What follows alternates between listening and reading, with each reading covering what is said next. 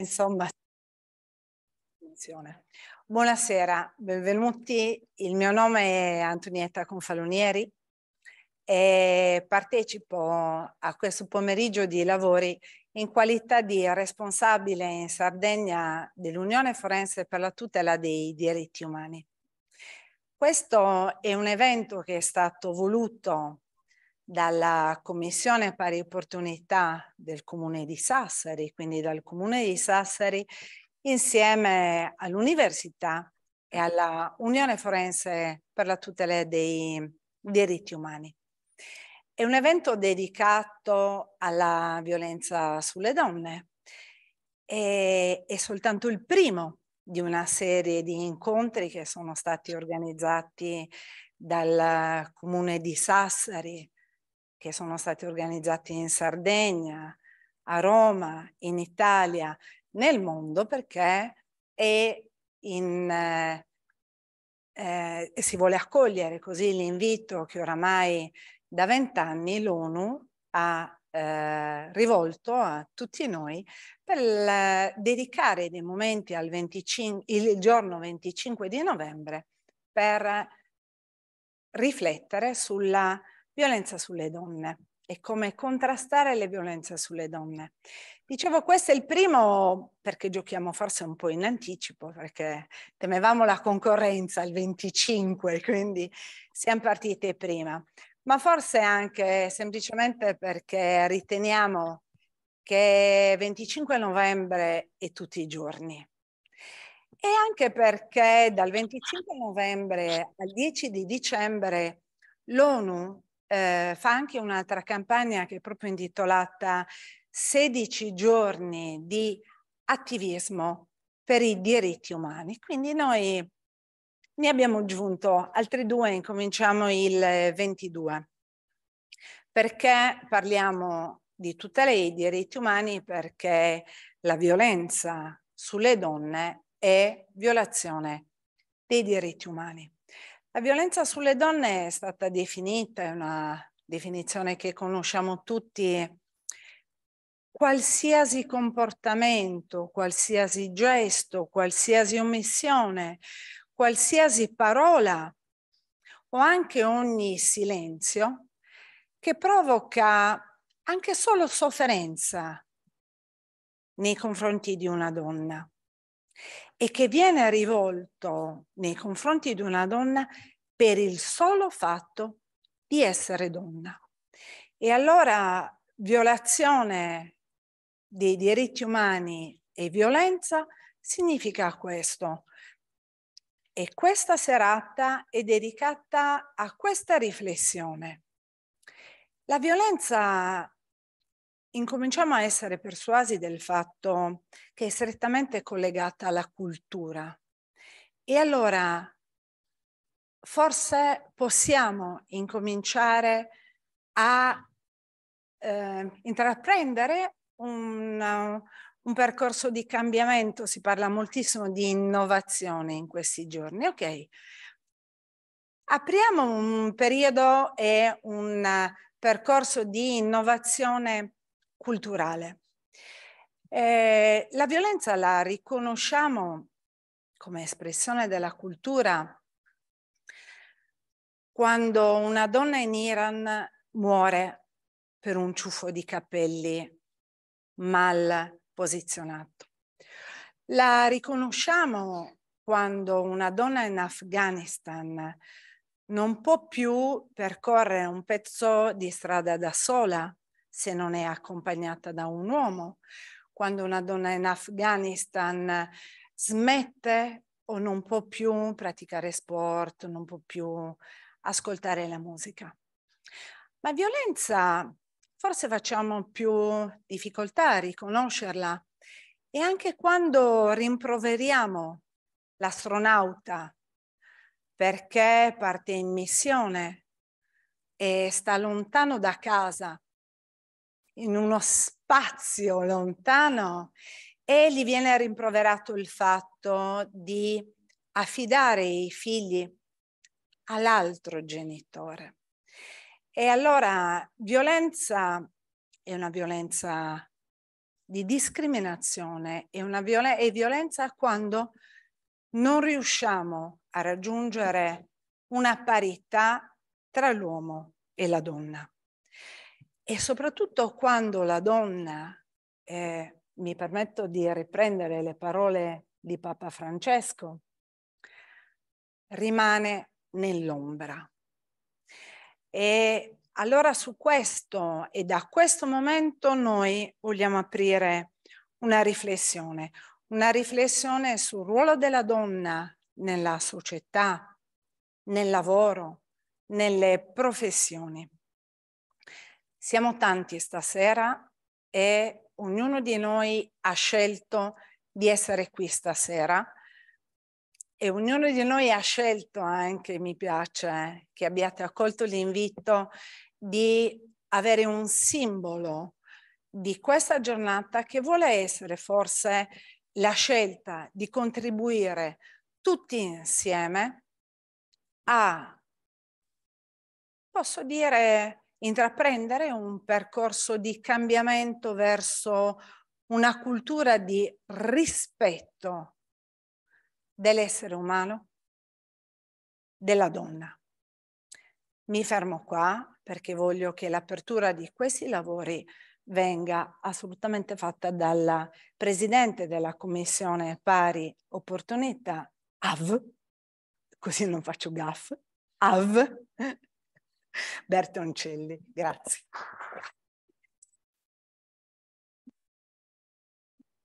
Grazie Antonietta. Quindi, quindi mhmm, saluto anzitutto i presenti, i partecipanti che ci stanno seguendo in diretta streaming. Poi rivolgo un saluto speciale e un sincero ringraziamento al magnifico rettore Gavino, professor Gavino Mariotti, che purtroppo oggi non, non è qui presente e ringrazio chi appunto lo sta sostituendo il prorettore Antonio Piana eh, perché oggi ci ospitano proprio in questa aula magna di, del nostro prestigioso Ateneo di Sassari, onorandoci naturalmente anche della, della loro presenza. E do il benvenuto al signor Sindaco di Sassari, professor Gian Vittorio Campus. Il prefetto purtroppo oggi non può essere presente per impegni istituzionali. Monsignor Arcivescovo Metropolita di Sassari Gianfranco Saba, Rivolgo inoltre un saluto e un benvenuto al professor avvocato Antonio Giulio Lana in qualità di presidente dell'Unione Forense per la tutela dei diritti umani, collegato con noi da Roma. E ringrazio, lo ringrazio per aver scelto di celebrare con noi questa occasione internazionale così importante.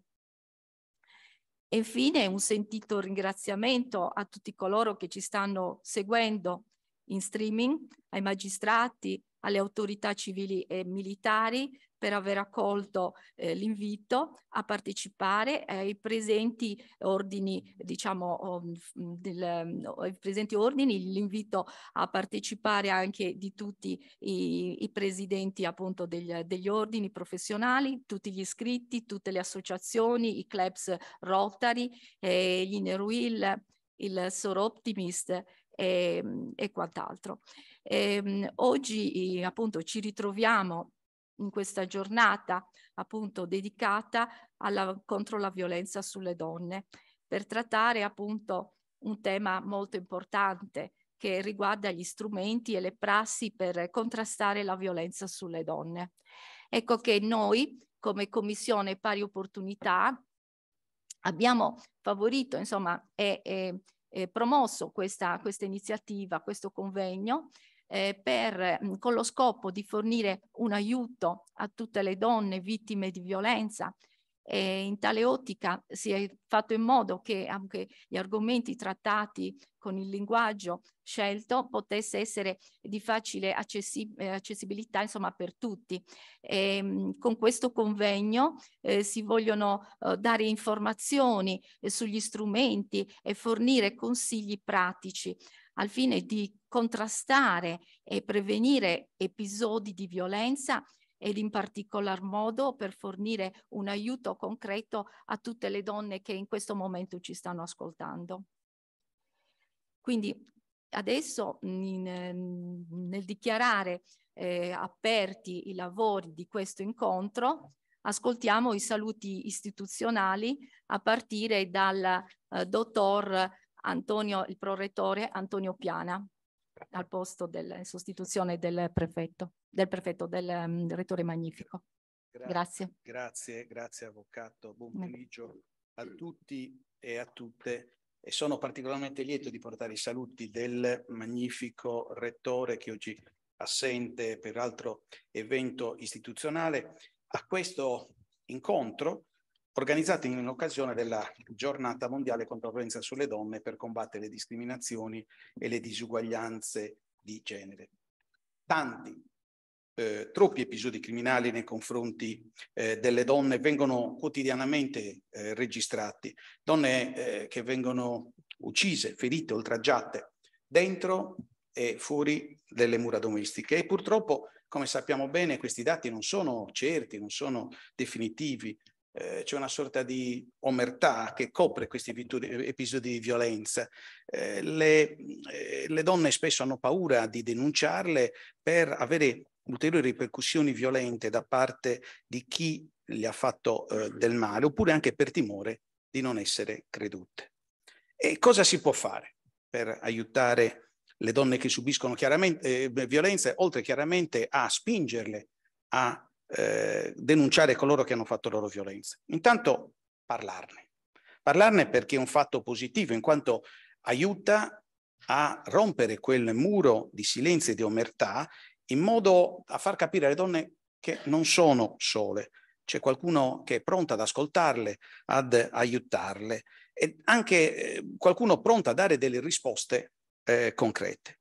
Una società rinnega se stessa se si volta dall'altra parte e se non si interviene con fermezza. E eh, l'evento di oggi è significativo. L'evento di oggi che vede riuniti qui nella Lamagna dell'Università autorità civili, militari, religiose, accademiche e associazionistiche.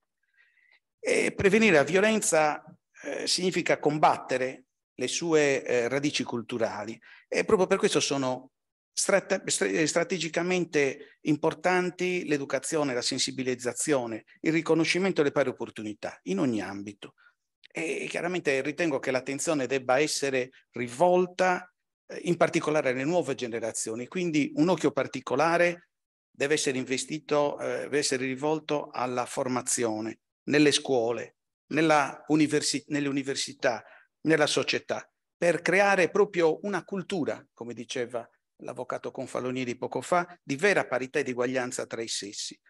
E quindi interventi, eh, ritengo che sia importante rafforzare il sistema scolastico, eh, migliorando le, eh, le, la capacità operativa degli insegnanti, eh, nel eh, riconoscere, far emergere e gestire dei casi di violenza eh, sulle, sulle donne promuovere eh, nell'offerta formativa eh, l'educazione alla parità tra i sessi, anche alla revisione, attraverso la revisione didattica delle, delle, dei programmi e dei libri di testo, formare operatrici e operatori del settore pubblico e privato per riconoscere e prendere in carico episodi di eh, violenza, eh, rafforzare la prevenzione eh, attraverso la rieducazione degli uomini che si sono resi colpevoli di atti di violenza nei confronti delle donne e guardare anche con un occhio particolare ai mass media, alla pubblicità che eh,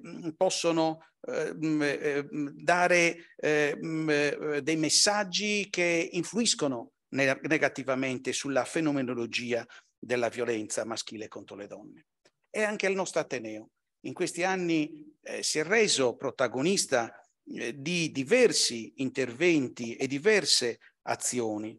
Eh, ha recentemente messo, per esempio, eh, ehm, ha recentemente dotato di un gender equality plan, che era uno strumento indispensabile e che mancava in Ateneo. Ha attivato corsi di formazione sull'identità di genere, sul diritto antidiscriminatorio.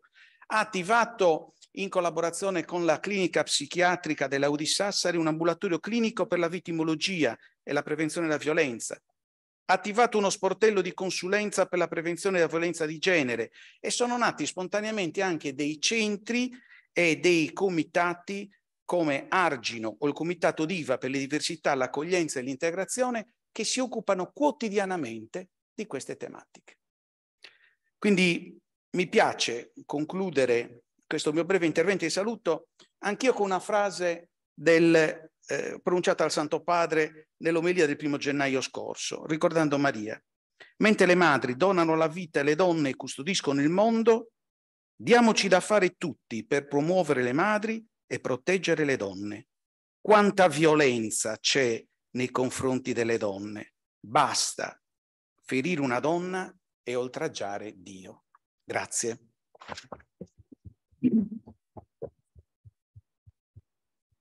Dopo queste bellissime parole del prorettore, dottor professor Antonio Piana, eh, adesso ascoltiamo il, il sindaco di Sassari, professor Gian Vittorio Campus.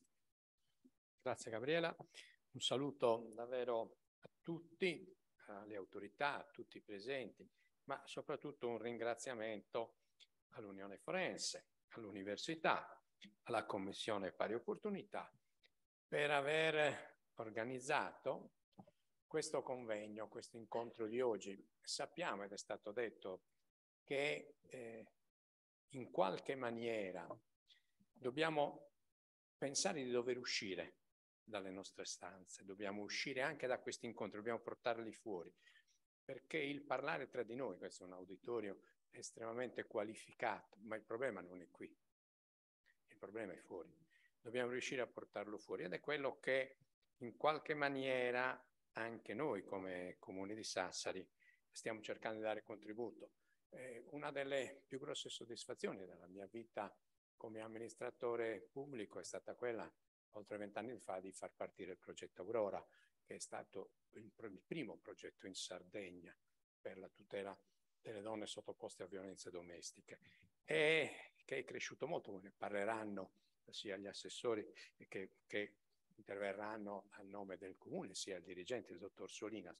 E non è solo quello, in questi giorni la polizia locale sta facendo degli incontri all'interno di una galleria di un centro commerciale, distribuendo degli opuscoli e invitando le persone a rivolgersi anche a noi per questo, così come appunto gli operatori del progetto Aurora hanno organizzato anch'essi un altro incontro, così come istituzionalmente, questo sì, sempre come messaggio, sempre come manifesto, il 25 ci sarà la seduta solenne del Consiglio Comunale per ricordare appunto come tutta la nostra comunità cittadina eh, debba e voglia partecipare a questo sforzo, che è uno sforzo di cultura, l'ha detto perfettamente Avvocato, uno sforzo di cultura eh, avrei difficoltà anche a definirlo una ricerca di uguaglianza tra sessi, perché non è certo facendo fare corsi di, body, di bodybuilding piuttosto che di difesa personale che possiamo portare l'uguaglianza tra i sessi in una famiglia dove un marito, un fidanzato, un convivente picchia la moglie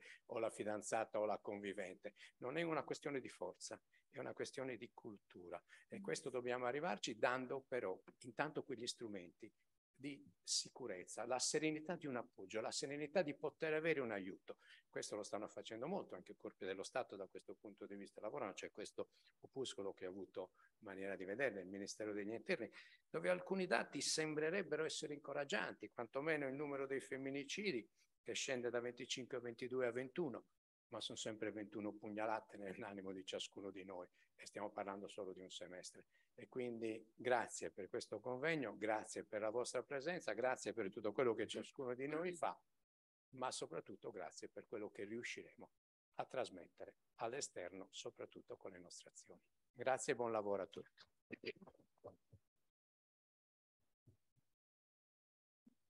Ringrazio il sindaco professor Gian Vittorio Campus e adesso ascoltiamo Monsignor Gianfranco Saba e proce procederà, che procederà appunto con i saluti istituzionali. Prego. Grazie. Buongiorno a tutti. Porto un saluto, porgo un saluto cordiale e deferente all'Unione Forense per la tutela dei diritti umani, la Commissione Pari Opportunità. Saluto il rettore professor Gavino Mariotti, qui rappresentato dal professor Piana. saluto il signor Sindaco, professor Campus e tutte le autorità civili, accademiche e militari qui presenti. Il tema oggetto di questo incontro è indubbiamente di particolare attenzione per tutti noi, a partire da prospettive molteplici. Anzitutto il tema della violenza. La violenza sempre e comunque è un male. Verso chiunque essa venga uh, prodotta o da chiunque venga generata.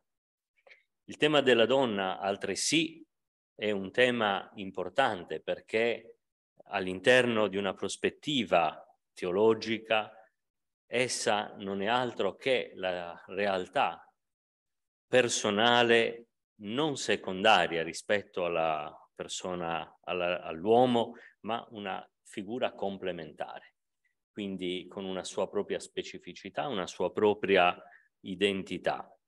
E perciò ogni forma di aggressione alla creatura e al creato è un male in sé che deve essere sempre e comunque condannato e mai promosso. È stato già citato da tanti la, il messaggio di Papa Francesco e ne sono particolarmente grato. Desidero ricordare anch'io un suo intervento nel quale disse che le varie forme di maltrattamento che subiscono molte donne sono una vigliaccheria e un degrado per gli uomini e per tutta l'umanità.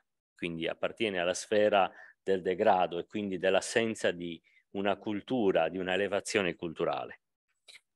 Non possiamo guardare dall'altra parte, le donne vittime di violenza devono essere protette dalla società.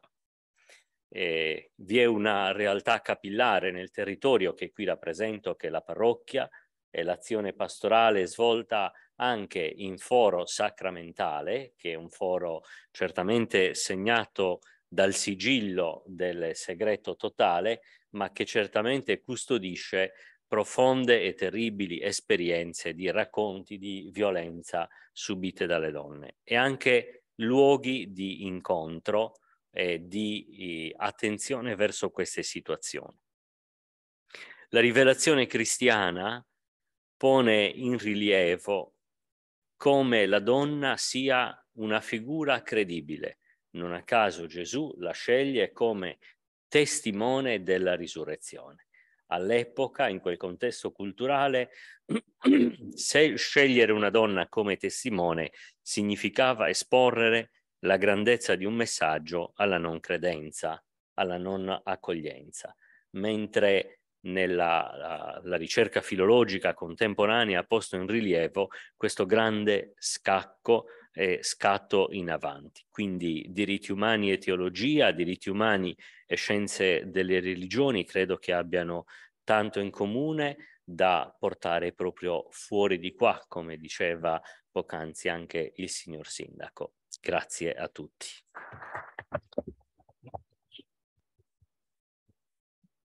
Un ringraziamento anche all'arcivescovo di Sassari, Monsignor Gianfranco Saba. Ed infine, adesso, con il presidente dell'Unione Forense per la tutela dei diritti umani, portiamo a Sassari in un contesto internazionale, nazionale, professor Antonio Giulio Lana che eh, appunto eh, sentiamo, ci sentiamo onorati eh, di averla a tavola nel nostro tavolo con noi, un tavolo naturalmente virtuale e, e, po- e, e, diciamo, e lo ascoltiamo ora. Ora ci colleghiamo con lui. Professore? Sì, sì. grazie. Grazie a lei. Buonasera a tutti, eh, ringrazio l'Università di Sassari, il rettore e il prorettore eh, che l'ha, eh, professor Piana che l'ha, che l'ha, sostituito, il sindaco eh, di Sassari, il, il, collega Gian Vittorio Campus, eh, il Monsignor Gianfranco Saba, eh, la responsabile dell'Unione Forense per la tutela dei diritti umani eh, Antonietta Confalonieri, eh, che in particolare modo ringrazio proprio per aver organizzato questa, eh, questa bella eh, iniziativa, e la eh, Commissione eh, Pari Opportunità del, del Comune di Sassari, eh, per eh, aver contribuito all'organizzazione di questa, eh, di questa eh, giornata eh, che mi pare veramente molto importante eh, e lo, si è già colto dagli interventi di saluto che, che mi hanno preceduto. Uh, proprio per non togliere eh, spazio eh, ai relatori che sono molto numerosi di questa importante appunto giornata, io eh, sarò molto breve nel dire eh, due, eh, nel svolgere due considerazioni dopo aver illustrato in maniera molto veloce la nostra associazione che è stata fondata nel 1968 da Giuliano Vassalli, Giovanni Conso ed altri attenti giuristi rispetto al tema dei diritti umani, tema che, tema che all'epoca uh, non aveva l'attenzione, non riceveva l'attenzione sul piano nazionale e internazionale che certamente riceve oggi e, e direi per fortuna. Uh, questa associazione nasce proprio con lo scopo di sensibilizzare e, e di diffondere la conoscenza eh, dei eh, diritti umani, delle convenzioni internazionali e della eh, giurisprudenza internazionale, ma anche la legislazione nazionale e eh, la giurisprudenza nazionale sul tema eh, del, eh, della tutela dei diritti fondamentali e dei diritti umani come mediante l'organizzazione di corsi, di convegni, di seminari come questo odierno, eh, con l'attività di advocacy dinanzi alle varie istanze eh, nazionali ed internazionali, con la pubblicazione di una rivista eh, scientifica dal 1990, i diritti dell'uomo, cronache e, e, battaglie. Fra le varie iniziative organizzate, certamente il tema della violenza nei confronti delle donne è centrale, eh, numerosi convegni sono stati organizzati e corsi eh, su questo tema. Una eh, grande eh, militante del, di queste tematiche ha, che ha avuto l'onore uh, di a cui ho avuto l'onore di contribuire eh, eh, sia sul piano eh, appunto del, della militanza all'interno di questa nostra associazione, sia eh, all'interno dello studio eh, legale di cui faccio parte, Tina Lagostena Bassi ha eh, contribuito in maniera significativa alle battaglie a tutela della donna contro la violenza, lo stupro nei confronti delle, delle donne, con tutta una serie di battaglie anche eh, non solo come avvocato ma anche come parlamentare eh, a metà degli anni 90 quando ha contribuito insieme ad altri parlamentari eh, di vari eh, eh, schieramenti politici affinché venisse modificata una, eh, la legislazione italiana che prevedeva lo stupro come violenza nei confronti, come pena co come eh, ehm, reato nei confronti della morale invece che nei confronti eh, della eh, eh persona. Giustamente si diceva appunto, si valorizzava il ruolo eh, della eh, persona. Ehm, due battute, vorrei sottolineare soltanto due aspetti per appunto non togliere tempo a chi a chi, mi, eh, chi seguirà nel, eh, nel dibattito e, e, e, ai relatori di questa intensa giornata. Um, due aspetti, dicevo. Il primo con riferimento al femminicidio. Uh, non può, a mio modo di vedere, essere considerata un'emergenza, un fenomeno che si verifica ogni tre giorni. Noi sappiamo che ogni tre giorni viene uccisa nel nostro paese una donna dal marito, ex marito, fidanzato, ex fidanzato.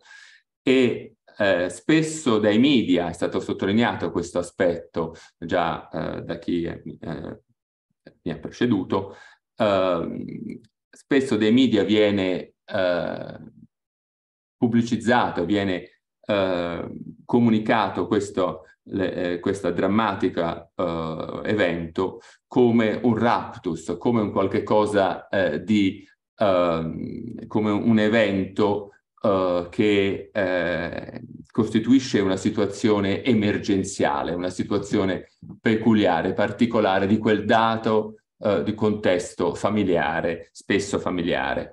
in realtà io credo che sia un fenomeno strutturale e come tale debba essere affrontato sia sul piano eh, legislativo, sul piano giurisprudenziale, ma prima ancora, come è stato molto ben eh, sottolineato da chi mi ha preceduto, sul piano culturale.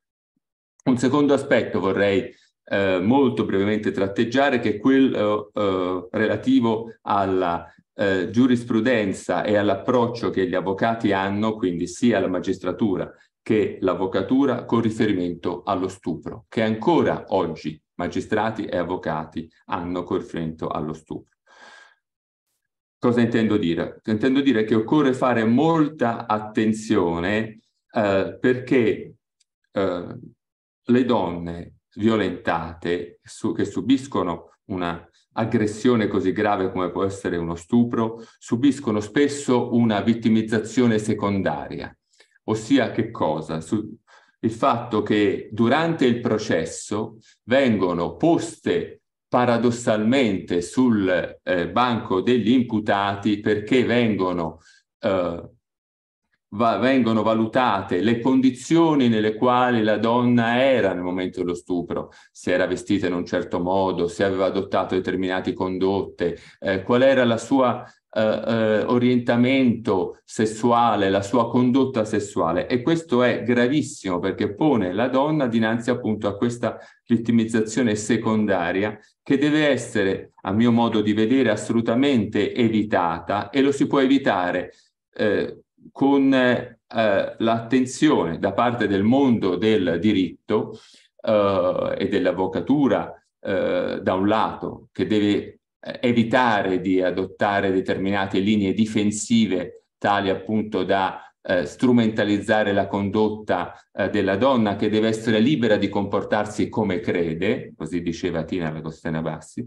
da un lato, e dall'altro lato nei confronti dei magistrati che debbono usare eh, fare molta eh, cautela, molta attenzione nell'usare espressioni o valutazioni moraleggianti che sono state di recente anche stigmatizzate dalla stessa Corte europea dei diritti dell'uomo, che più volte ha condannato il nostro Stato per le espressioni adottate da magistrati nelle proprie sentenze eh, laddove si fanno valutazioni in ordine alla condotta morale o sessuale della donna, appunto eh, con, eh, una, con delle valutazioni che attengono ad una dimensione eh, intima, privata eh, e contra contratti con, eh, moraleggianti che secondo eh, la giurisprudenza della Corte europea e, e, anche a mio modo, modo, di vedere, mio modesto modo di vedere, non può eh, non possono costituire oggetto di una valutazione all'interno di una, di una sentenza. Eh, concludo dicendo quindi che occorre lavorare molto, eh, prima ancora su un piano culturale eh, per evitare che questi fenomeni eh, si verifichino. E, ehm, e, questo, e quindi incontri come quello di oggi sono molto importanti per diffondere una sensibilità eh, e un'attenzione rispetto a questi temi che deve eh, attraversare in maniera appunto traversale la, la, nostra cultura, l'università, la scuola, la dimensione del foro, quindi l'avvocatura e la magistratura e direi anche i media, perché è molto importante il ruolo che i media, i social media in particolare, ma direi in generale tutti i mezzi di informazione eh, assumono in questo ambito.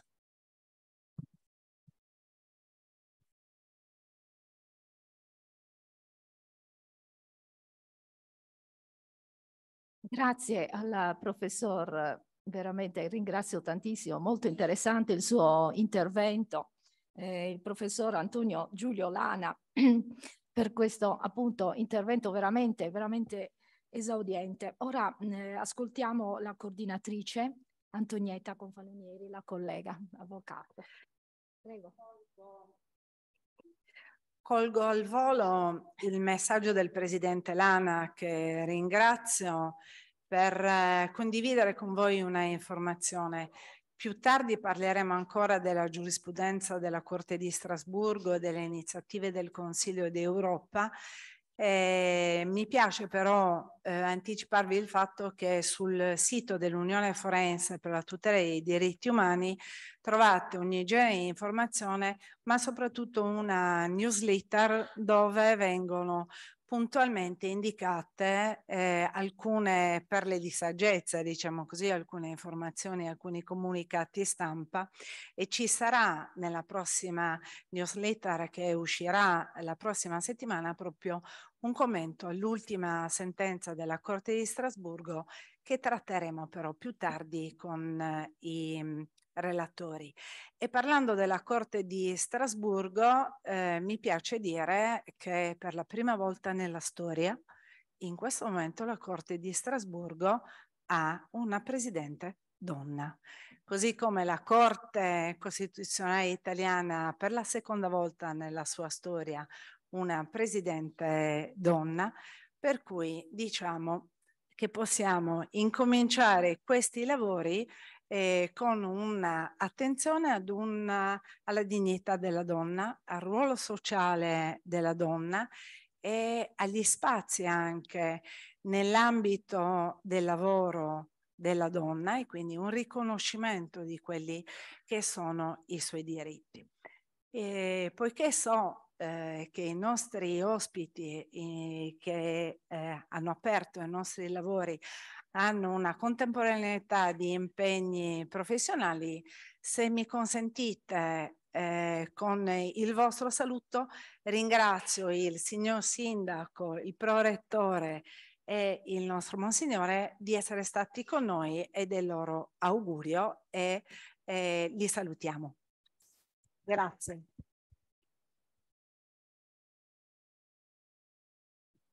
Salutiamo anche il presidente Lana se crede o se rimane in collegamento eh, con noi. Ci fa piacere. E, e... Grazie, grazie.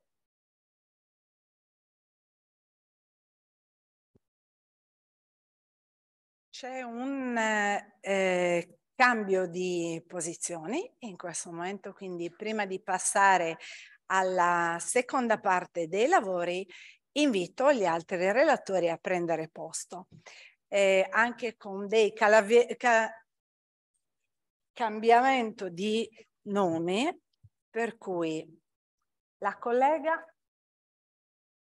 al centro, il dottor Zolo la invitiamo a prendere posto, la dottoressa Malesa la invitiamo da quella parte. E sistemiamo anche l'assessore Meazza, adesso cederò anche il posto.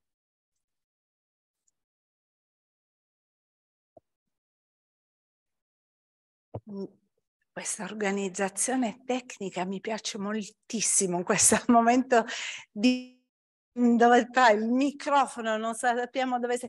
Assessore Meazza, la invito a venire vicino a me perché le cederò, pensi un po', il mio microfono, però lo, mi deve semplicemente consentire tre secondi, benvenuto, mi deve consentire solo tre secondi di eh, spostarmi per andare avanti con i lavori, soprattutto per dare invece il benvenuto alla dottoressa De Leonibus eh, che sta in collegamento fra noi.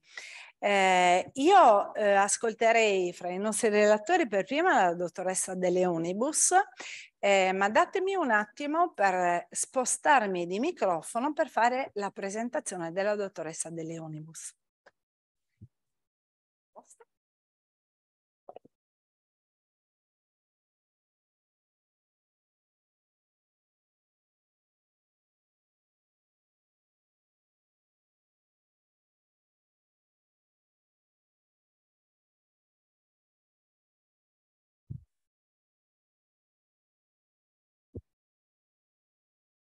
Ringrazio la dottoressa De Leonibus eh, per eh, aver accettato il nostro invito e per eh, aver voluto mantenere questo collegamento che è non solo telematico fra me e lei, ma eh, ci ha visto protagonisti, diciamo così, di celebrazioni di giornate dedicate a, a questo tema eh, in tantissime occasioni. Eh, la dottoressa De Leonibus in questo momento è collegata da Perugia, ma ha un legame fortissimo professionale anche con l'Università di Sassari e con eh, l'Università di Cagliari, quindi magari invito direttamente lei a eh, presentarsi con i suoi collegamenti con eh, la Sardegna. Eh, io ci tengo a presentarla con eh, il titolo di uno dei suoi libri che io eh, adoro, ho letto eh, e rileggo in continuazione perché ha un titolo straordinario, lo ha ripresentato i giorni scorsi negli eventi perugini e, e si intitola Libere di essere. Ecco, eh, il messaggio per me nel presentarla è proprio questo, libere di essere di essere donne, di essere così come siamo. Dottoressa, grazie per partecipare a questa serata, l'ascoltiamo volentieri. Grazie, buonasera a tutte e a tutti e ringrazio in particolare l'avvocata Antonietta Confalinieri, oltre che eh, collega di molte eh, attività professionali, anche amica, eh, per avermi invitato. Ringrazio quindi l'Unione Forense, l'Università e la Commissione Pari Opportunità del Comune e tutti i relatori e relatrici che hanno fino adesso introdotto in maniera estremamente interessante questa giornata. Sono onorata di far parte di questo consesso di altissimo livello e rispondo anche alla questione che ha anticipato eh, l'avvocata Confalonieri circa eh, diciamo, i legami eh, professionali con la Sardegna. Sono eh, didatta e supervisor della scuola di formazione post laurea per psicologi che vogliono diventare psicoterapeuti che si chiama Sinapsi, ha sede a Cagliari e ho collaborato con la città di Sassari per una serie di eventi, in particolare per la formazione di operatrici e operatori eh, che lavorano con il mondo così vasto, enorme del terzo settore. E appunto in queste circostanze abbiamo rifatto un po' di legame anche con la dottoressa, con l'avvocata Compalonieri e ci siamo interfacciate proprio su questo mh, mio ultimo uh, libro, eh, titolo è Libere di essere, quando ho uh, proposto il titolo alla casa editrice io ho avuto un punto interrogativo e l'editore mi ha detto guardi non si mettono punti interrogativi sui titoli dei libri, libero di essere, quindi ha ah, il punto interrogativo. Perché il punto interrogativo? Io ho voluto insistere su questo, l'editore ha ceduto, gli editori poi alla fine ci, ci seguono se siamo motivati e ho voluto insistere perché senza punto interrogativo significherebbe che siamo già come donne libere di essere e invece se fossimo state mh, ancora in percorso, e siamo ancora in percorso, ma siamo davvero liberi di essere, anche oggi, anche in Italia, anche nel 2000, perché è proprio questa la domanda che eh, occorre porsi eh, rispetto appunto a tutte le tematiche che riguardano la violenza eh, di genere. Perché appunto la violenza di genere, come è stato sottolineato molto bene, è una violenza culturale Culturale significa che eh, non ha a che vedere con comportamenti di singoli e basta, ovvero dietro il comportamento del singolo c'è una serie di mh, dispositivi culturali che hanno costruito il terreno sul quale poi la violenza di genere mette le sue radici. Il primo di questi dispositivi è eh, definito in termini di ricerca psicologica e sociologica l'androcentrismo. Cos'è l'androcentrismo? È eh, riassumibile in una formula molto semplice, maschio è meglio. Eh, siamo al di là di quello che viene definito il sistema patriarcale, siamo in un sistema eh, culturale dove in qualche misura eh, le differenze tra i generi sono diventate gerarchie. E gerarchia vuol dire, significa che eh, c'è un genere che è eh, in una posizione di supremazia rispetto all'altro. Questo è stato vero eh, fino a, lo ha ricordato prima il, il Presidente dell'Unione Forense, è stato vero fino a pochissimi decenni fa anche in termini giuridici. eh, dagli anni 70 che nella famiglia eh, c'è diciamo, riconosciuta giuridicamente la pari eh, responsabilità dei genitori, altrimenti eh, sistemano costrutti di ben altro tipo. È presente questo androcentrismo eh, nelle professioni a livelli molto alti delle cariche istituzionali, le vediamo costantemente, sono soltanto pochissimi anni, ha ricordato pochi istanti fa, appunto dall'avvocata Confalonieri, che al, ai più alti consessi sono pochissimi anni che siedono donne. Perché maschio è meglio? Perché delle differenze appunto è stata fatta una gerarchia e questa gerarchia è il terreno di coltura nel quale eh, prospera la violenza di genere in tutte le sue forme, dalle più invisibili alle più visibili. Gerarchia che eh, fino a quando non viene contrastata e fino a quando diciamo, viene obbedita, fino a quando ci si adegua alla quale eh, non pone problemi. Il paradosso è che proprio quando questa gerarchia viene messa in discussione, allora eh, ci sono i, i pretesti, le declensi, i trigger point per la violenza di genere. Noi possiamo immaginare questo grande discorso molto molto ricco, molto delicato, molto forte eh, sui temi della violenza di genere immaginando un iceberg. L'iceberg ha una parte nascosta e una parte visibile. Nella parte nascosta esistono le forme sottili, le forme invisibili di violenza. Dottoressa, Prego. La interrompo perché se riesce a posizionare diversamente il microfono la voce arriva meglio perché siamo in una sala un po' grande per cui... Vediamo se si funziona meglio. Sembrerebbe, proviamo? Bene, allora facciamo così. Dicevo appunto che noi possiamo immaginare di trattare il tema della violenza di genere attraverso eh, una immagine che è quella di un iceberg L'iceberg ha una parte sommersa e una parte emersa. Di solito la parte emersa è molto più piccola, molto meno eh, grande della parte sommersa. Nella parte sommersa troviamo tutte le forme sottili, invisibili della violenza di genere. Troviamo eh, quelle forme che per esempio cominciano con l'invisibilità, con il fatto che le donne non sono rappresentate a livello sociale, che rinunciano molto spesso ad essere soggetti socialmente attivi. La parte invisibile riguarda anche il linguaggio sessista. Nel linguaggio sessista noi rintracciamo delle forme e delle formule che attengono poi ai processi di pensiero. Tutte le volte che si pensa, per esempio, il nome di una professione eh, che può essere svolta da un uomo o da una donna, e lo si pensa al maschile come nome della professione, anziché al femminile, noi stiamo immaginando che quella donna che svolge quella professione stia usurpando un posto. E questo è molto, è molto forte come ragionamento perché nel momento in cui il linguaggio lo assumiamo come un determinante, una determinante dei processi di pensiero, noi sappiamo che il linguaggio struttura il pensiero. Il linguaggio non struttura soltanto il pensiero, struttura anche l'immaginario, perché nel momento in cui io dico un ingegnere, ho in mente qualcuno magari col petto grigio, magari anche il maglione, ma comunque con un aspetto maschile se poi dentro questa qualifica ci compare la ingegnera, che si fa chiamare ingegnere, io ho eh, nella mia percezione l'idea che quella donna non stia occupando un posto che le compete, ma un posto che non le compete. Un posto nel quale è ospite, nella migliore delle ipotesi, o usurpatrice nella peggiore.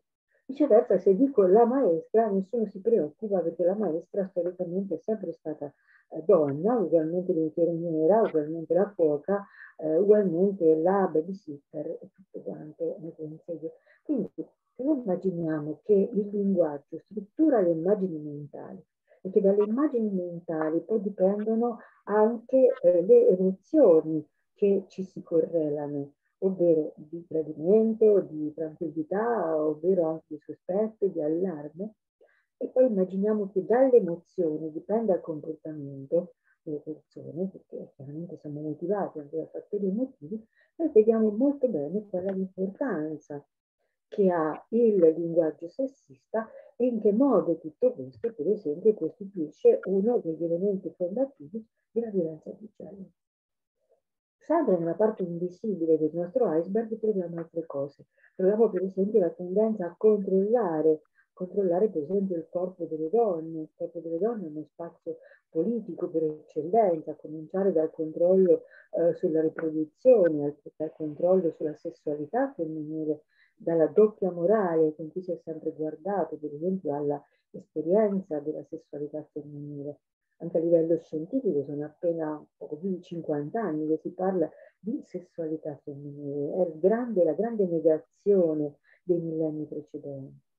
Ma il controllo sul corpo delle donne anche un controllo sul comportamento eh, che attiene al corpo, quindi sull'abito, eh, sulla esposizione del corpo e un controllo sulla forma e sulla eh, taglia del corpo. Abbiamo visto di recente eh, nell'ambito dello sport quanto questo controllo sulla magrezza poi produca eh, eh, risultati devastanti per le giovani atlete.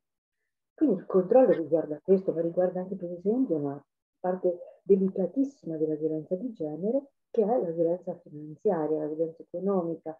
Quante donne possiedono un conto corrente in Italia? Un terzo. Sembra un dato assurdo, ma è reale. La, la, non disponibilità di un proprio conto bancario rende le donne immediatamente dipendenti anche per le spese più semplici dal partner. Poi sappiamo il gender pay gap quanto è importante e questa differenza parità di eh, funzioni di mansioni è davvero difficile da giustificare nel terzo millennio. Quello che accade poi è che questo controllo si espande a tutte le sfere della vita personale. Faceva menzione poco fa eh, l'avvocato Lana delle, eh, delle vittimizzazioni secondarie che subiscono le donne quando, eh, per esempio, denunciano una violenza. E questo succede perché in qualche misura viene controllata la vita privata della vittima.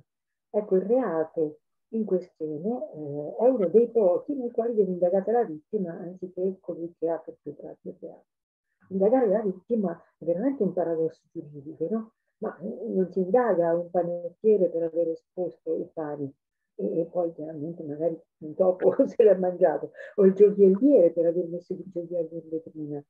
Dice, beh certo, il rapinatore ha visto i gioielli.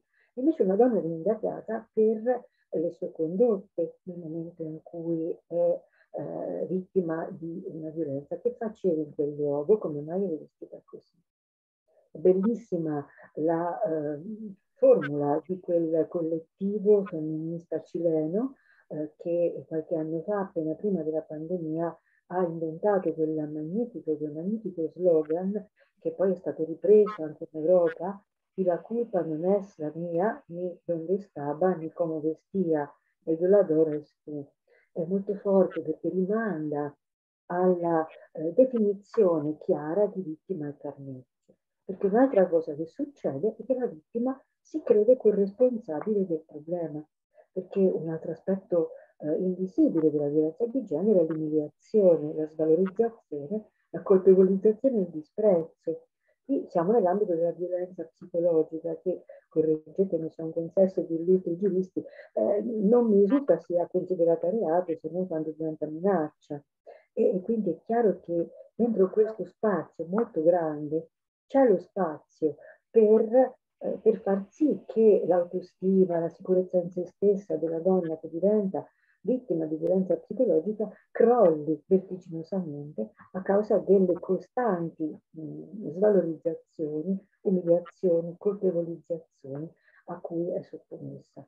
Per cui appunto poi succede una cosa molto drammatica, assai drammatica, e che è la seguente. La donna entra in un circolo di autolimitazione.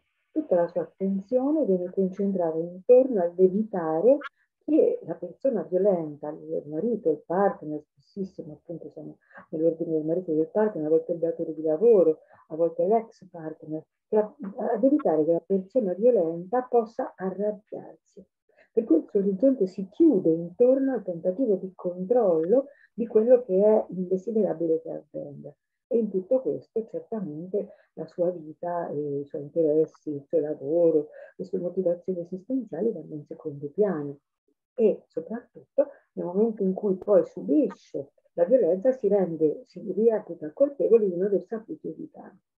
Mm, proprio in questi giorni una persona, una donna, mi ha contattato eh, per una situazione di questo genere, mi capita quasi ogni giorno purtroppo, eh, dove appunto lei si ritiene colpevole non solo del fatto che il marito è alcolista e quando è in condizioni di mh, alcolemia alta diventa violento, rompe gli oggetti, picchia il figlio e tutto il resto, ma si rende responsabile pure del fatto che lei non riesca a fargli smettere di bere e quindi in qualche modo tutte quelle violenze che lui perpetra sono eh, responsabilità propria di lei come donna. Questo rovesciamento della responsabilità è un fenomeno assolutamente gravissimo che poi chiaramente rende la donna immobile di fronte a violenze ben più gravi, più gravi nel senso più visibili, più esposte, più esplicite, che sono appunto la minaccia, l'urlo, l'insulto, l'aggressione sessuale, l'aggressione fisica fino al femminicidio. In mezzo a tutto questo c'è questo passaggio, questa terra di nessuno, questa zona grigia dove la violenza è psicologica, è economica, ma anche istituzionale. Parlavamo prima appunto della vittimizzazione secondaria, parlavamo anche di quanto eh, per esempio a livello educativo eh, ci sia ancora scarsissima attenzione al sviluppo di un rispetto per le differenze, allo sviluppo di condizioni per la parità di genere effettiva. Ecco, tutto questo ci dice quale sia e quanto sia vasto, profondo e grande il terreno di cultura della violenza. Purtroppo c'è dentro questo edificio della violenza una colonna portante, anzi delle colonne portanti, molto forti, molto difficili da scardinare, che sono gli stereotipi di genere. Faceva prima menzione eh, l'avvocata Contalemeni nella sua introduzione di Samantha Cristoforetti, dell'ingegnera spaziale Samantha Cristoforetti. Non solo è stata mh, come dire, no, svalutata in quanto madre, perché le madri non lasciano i bambini, i padri invece sì, ma è stata svalutata addirittura perché aveva capelli dritti. In assenza di gravità è chiaro che i capelli stanno dritti. E quindi i giornali si sono prodigati a dire ma perché non si è messo una pinza, un pezzetto, qualche cosa, no? Ecco lo stereotipo, lo stereotipo di genere. Lo stereotipo. Un'ingegnera aerospaziale che comanda la stazione europea deve essere giudicata per via dei capelli, non per le sue competenze, non perché parla cinque lingue, non perché tutto il mondo la stimano e la apprezzano, ma perché ha capelli dritti. Ecco lo stereotipo. Lo stereotipo è ciò che conforma i processi di pensiero. Lo stereotipo è, eh, gli stereotipi di genere sono le cose dentro le quali siamo vissuti tutti e non le vediamo più come pesci non vedono l'acqua. Per cui il primo lavoro per il contrasto alla violenza di genere, avete la formazione ovviamente delle forze di polizia, eh, delle, eh, dei tribunali, delle mh, eh, forze dell'ordine in generale, eh, degli insegnanti, degli assistenti sociali, non parliamo di, di, quanto andrebbe un pochino più tematizzato questo discorso, abbiamo sentenze importanti su questo, ma ecco, Oltre a tutto questo c'è da fare un lavoro grande, radicale di decostruzione degli stereotipi di genere. Il linguaggio, il linguaggio eh, di genere è uno dei modi per decostruirlo. Poi ci sono ovviamente l'immaginario eh, pubblicitario, eh, c'è l'immaginario cinematografico, l'immaginario delle fiction televisive, ecco tutti i veicoli attuali degli stereotipi di genere, titoli dei giornali, possono essere altrettanti spazi per superare queste che sono per decostruire destrutturare queste che sono le colonne dell'androcentrismo. Vi ringrazio per l'attenzione. Grazie dottoressa. Il primo step quindi è riconoscere la violenza, perché eh, è, è, soltanto quello il momento in cui poi riusciamo a fare dei passi successivi. Eh, se crede, dottoressa, può rimanere collegata con noi eh, o sino al momento in cui i suoi impegni professionali la chiameranno eh, in altri spazi. Eh, mh, mm, mi piace semplicemente eh, in questo momento, prima di passare poi a sapere che cosa fa il comune di Perugia e quindi anche ero sicura che l'avrei detto. Dopo 25 anni a Perugia lavorando con il comune di Perugia, oggi mi sono detto non lo dire, non lo dire, eccolo. Ho lavorato per 25 anni per il comune di Perugia a tutela delle donne, quindi mi è venuto assolutamente naturale in collegamento con Perugia dirlo. Quindi sentiremo invece l'importanza del, del, centro Aurora eh, a Sassari che, che, esiste da tempo. E la violenza psicologica eh, soprattutto porta poi a quei fenomeni che non rientrano nel conteggio delle violenze delle donne, che sono i suicidi delle persone che non riescono più a reggere certe situazioni eh, psicologiche. Quindi aggiungiamo in tutto questo eh, anche questo piccolo spazio che rimane tutto sommato invece in ombra e allora consentiamo alle donne di uscire eh, dall'ombra. Assessore Mazza, con immenso piacere e con grande interesse ascolto il lavoro del Comune di Sassari. Grazie. Grazie, grazie a lei, avvocato, collega, e grazie alla Commissione Pari Opportunità, alla Presidente e a tutti coloro che hanno collaborato per ehm, la riuscita di questo importante evento, di questo importante convegno. Un ringraziamento a tutti i relatori, autorevolissimi relatori, eh, credo che proprio la presenza anche delle stesse autorità, eh, di tutte le autorità istituzionali, militari, civili e anche religiose, abbiamo sentito anche i saluti dell'eccellenza dell'arcivescovo, credo che eh, il contributo di tutti eh, possa aiutare a mh, mettere a fuoco il tema della eh, violenza sulle donne quindi usciranno sicuramente delle riflessioni, ne sono già uscite diverse riflessioni da quello che appunto eh, si diceva. Eh, sebbene l'ultima parte ho, ho, avuto un po' di difficoltà nella, nell'ascolto, però ho colto le cose fondamentali eh, dette, dette poc'anzi. Ehm, che cosa fa il comune di Sassari? Il Comune di Sassari eh, mette in campo diverse iniziative su questo aspetto. Io mm, mm, lascio, eh, lascerò qui la parola al dottor Solinas che eh, vi declinerà diciamo, l'elenco delle iniziative importanti eh, che il Comune fa. Lo fa su Sassari, ma lo fa anche nell'ambito plus, nel senso che noi lavoriamo come servizi sociali per dei servizi che eh, offriamo al territorio quindi compreso Porto Torres, compreso Stintino, compreso Sorso, quindi abbiamo delle risorse che poi eh, eh, utilizziamo per pianificare dei, dei, progetti importanti, tra cui anche questo della protezione eh, delle donne. Eh, adesso stiamo anche lavorando, e, e abbiamo dato indicazioni come consiglio comunale eh, vedo che ci sono anche dei consiglieri comunali in questa bellissima aula, è approvata all'unanimità una mozione per fare in modo di avere anche un'altra casa accoglienza oltre a quella, a quella che attualmente esiste da oltre vent'anni. Eh, e mi permetto anche di dire che è una iniziativa nata nel 2000 proprio grazie allora al professor Campus, che allora era sindaco, io ero già assessore ai servizi sociali nel 2000, proprio nel 2000 nasce Casa Aurora. Ora Casa Aurora è una casa insomma, ben organizzata, articolata e ripeto, sarà il dottor Sulinas a, darvi tutte le indicazioni sia delle iniziative su Casa Aurora ma anche su quelle collaterali, tra cui il reddito di libertà. Io che cosa posso dire? Permettetemi di fare solo una riflessione veloce, partendo proprio dalle riflessioni eh, che sono state illustrate poc'anzi.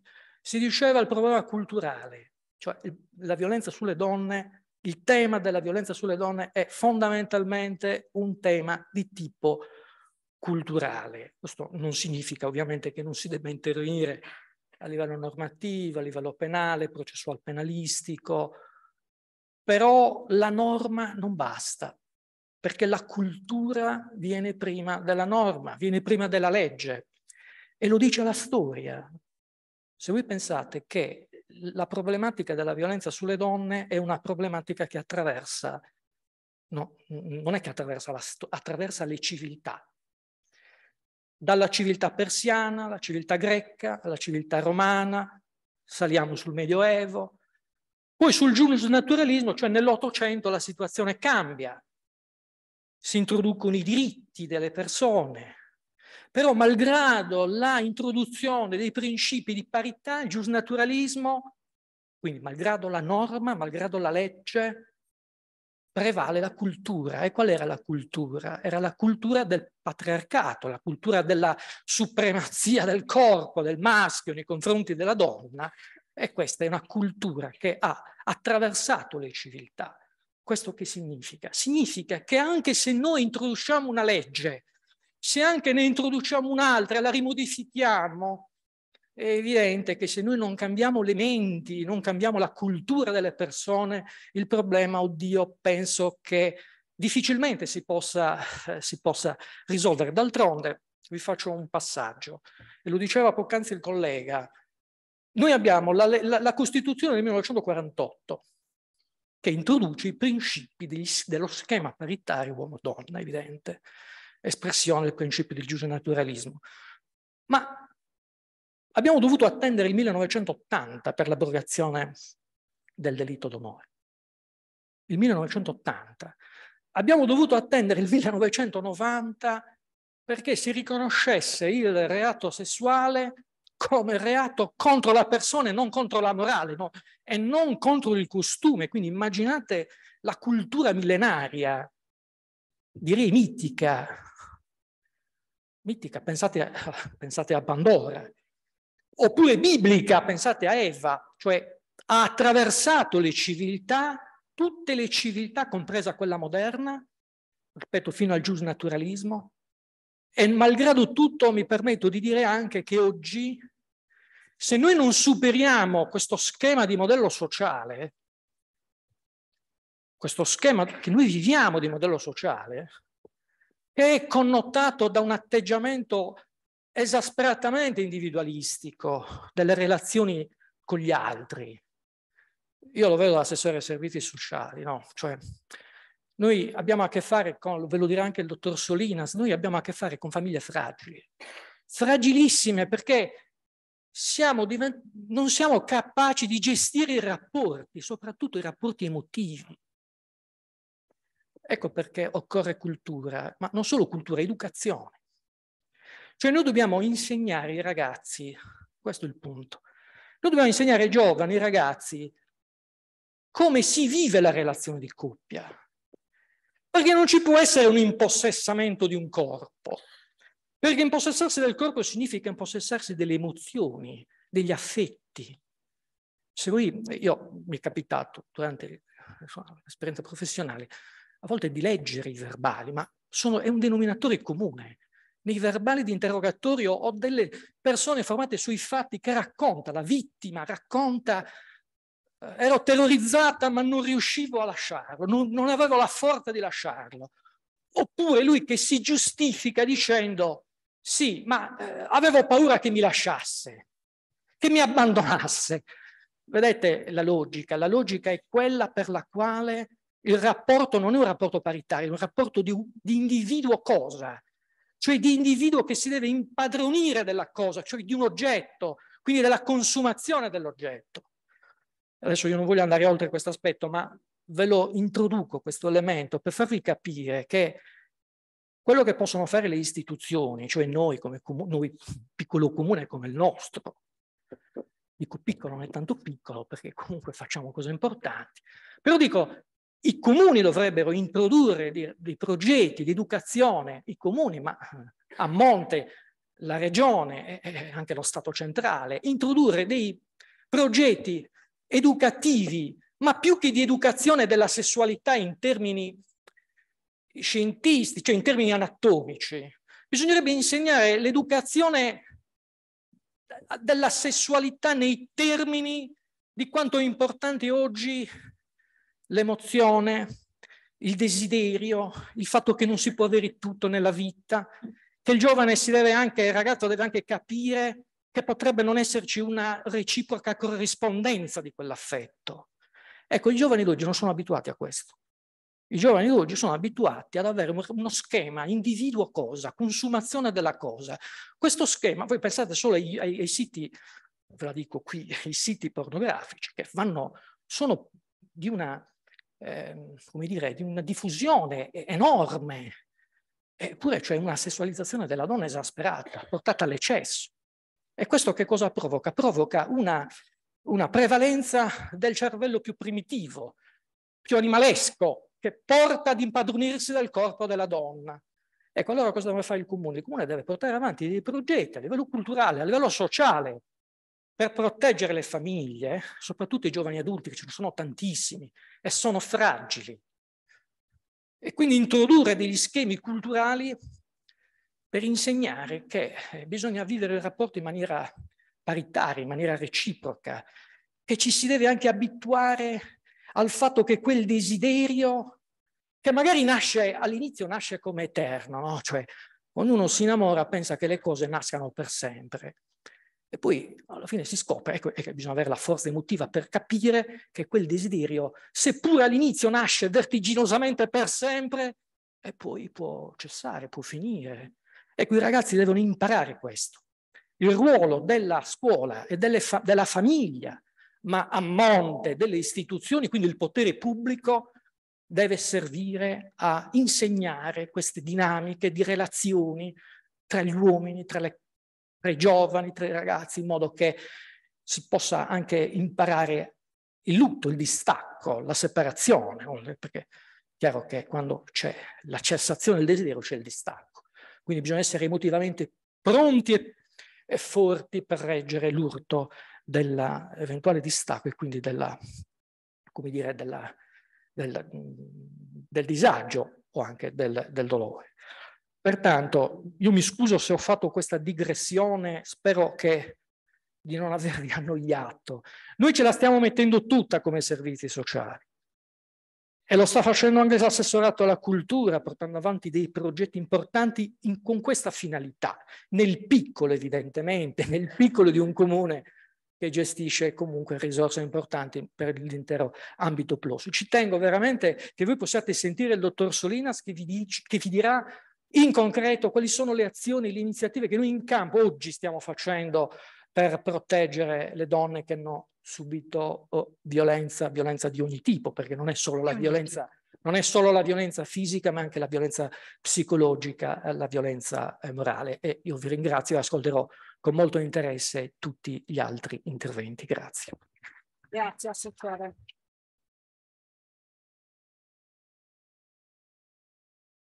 Protezione e prevenzione e sono due delle P della Convenzione di Istanbul. E proprio per questo eh, vorrei dare eh, vorrei ascoltare in questo momento, cerco lo sguardo di conferma alla dottoressa Casu, che eh, presento con eh, il suo titolo preciso, che è dirigente dell'ufficio prevenzione generale soccorso pubblico della questura di Sassari. Grazie. Faccio andare qua. Eh, mi presento appunto, io sono il dirigente dell'Ufficio Prevenzione Generale e Soccorso Pubblico della Questura di Sassari. È un piacere oggi essere qui per raccontarvi quello che fanno quotidianamente i poliziotti e in particolare i poliziotti della Questura di Sassari per affrontare eh, purtroppo questo fenomeno anche in maniera giornaliera. L'Ufficio Prevenzione Generale e Soccorso Pubblico della Questura generalmente è il primo ufficio con cui si instaura il contatto con le vittime eh, della violenza di genere. Il nostro contatto avviene tramite due articolazioni che sono l'ufficio denunce e la squadra volante. Si tratta però eh, di due approcci differenti perché eh, quando la donna si presenta all'ufficio denunce c'è già una donna che ha deciso di rivolgersi a noi. Quindi di base il nostro compito sarà quella di accoglierla, di ascoltarla e di avviarla verso un percorso che la porterà ad uscire da quella situazione. Diverso invece è il caso in cui il contatto avvenga perché interviene la squadra volante. La nostra squadra volante interviene nell'emergenza. Quindi quando la squadra volante interviene, interviene perché è stata chiamata tramite la nostra app UPOL oppure tramite una chiamata su linea 113. La chiamata può venire dalla donna, ma può anche venire da parte di conoscenti, passanti, vicini di casa. Diciamo che in questo caso la diversità sta proprio nel fatto che è la volante ad andare dalla donna. Quindi quando la volante arriva, la particolarità, il nostro operatore della volante sa già che si troverà di fronte una donna che probabilmente non sarà disponibile a raccontare quello che è successo o comunque si tratterà di una donna che non è consapevole che la condotta che ha subito integra una fattispecie di reato o ancora la donna si troverà in uno stato psicofisico che non le consente di instaurare un dialogo con noi. Quindi a questo punto i nostri poliziotti sanno già però che dovranno gestire l'intervento secondo delle procedure standardizzate che ci consentono su tutto il territorio nazionale di aumentare gli standard di tutela. Quindi il minimo, eh, insomma l'azione minima che farà l'operatore della volante sarà quella di andare a implementare la banca dati scudo, che è una banca dati interforze, quindi riguarda tutte le forze di polizia e ci consente di andare a valorizzare eh, determinate situazioni di pericolo, anche se in costanza di intervento non vanno a integrare o comunque delineare delle fattispecie chiare di reato. Diverso sarà il caso in cui eh, invece già possono essere delineate delle situazioni di, mm, insomma, penalmente rilevanti. Quindi gli operatori sanno benissimo che dovranno compiere tutti gli atti relativi all'attività di polizia giudiziaria. Questo aspetto comunque non esclude un altro aspetto importantissimo che riguarda l'assistenza e il soccorso alla vittima. Quindi il nostro intervento non si concluderà semplicemente affidando ad esempio la donna al pronto soccorso. Chiederemo ad esempio di essere informati per sapere dove andrà quella vittima nel momento in cui lascerà l'ospedale, se avrà bisogno della nostra assistenza per recuperare i suoi effetti personali, magari dall'abitazione che condivide col suo aggressore. A diciamo, suggellare le nostre istruzioni operative, quindi eh, insomma le nostre linee guida per operare, c'è un principio fondamentale che la volante non lascerà mai il luogo dell'intervento prima che si sia assicurata che per quella donna non persistono pericoli. Questo a suggello.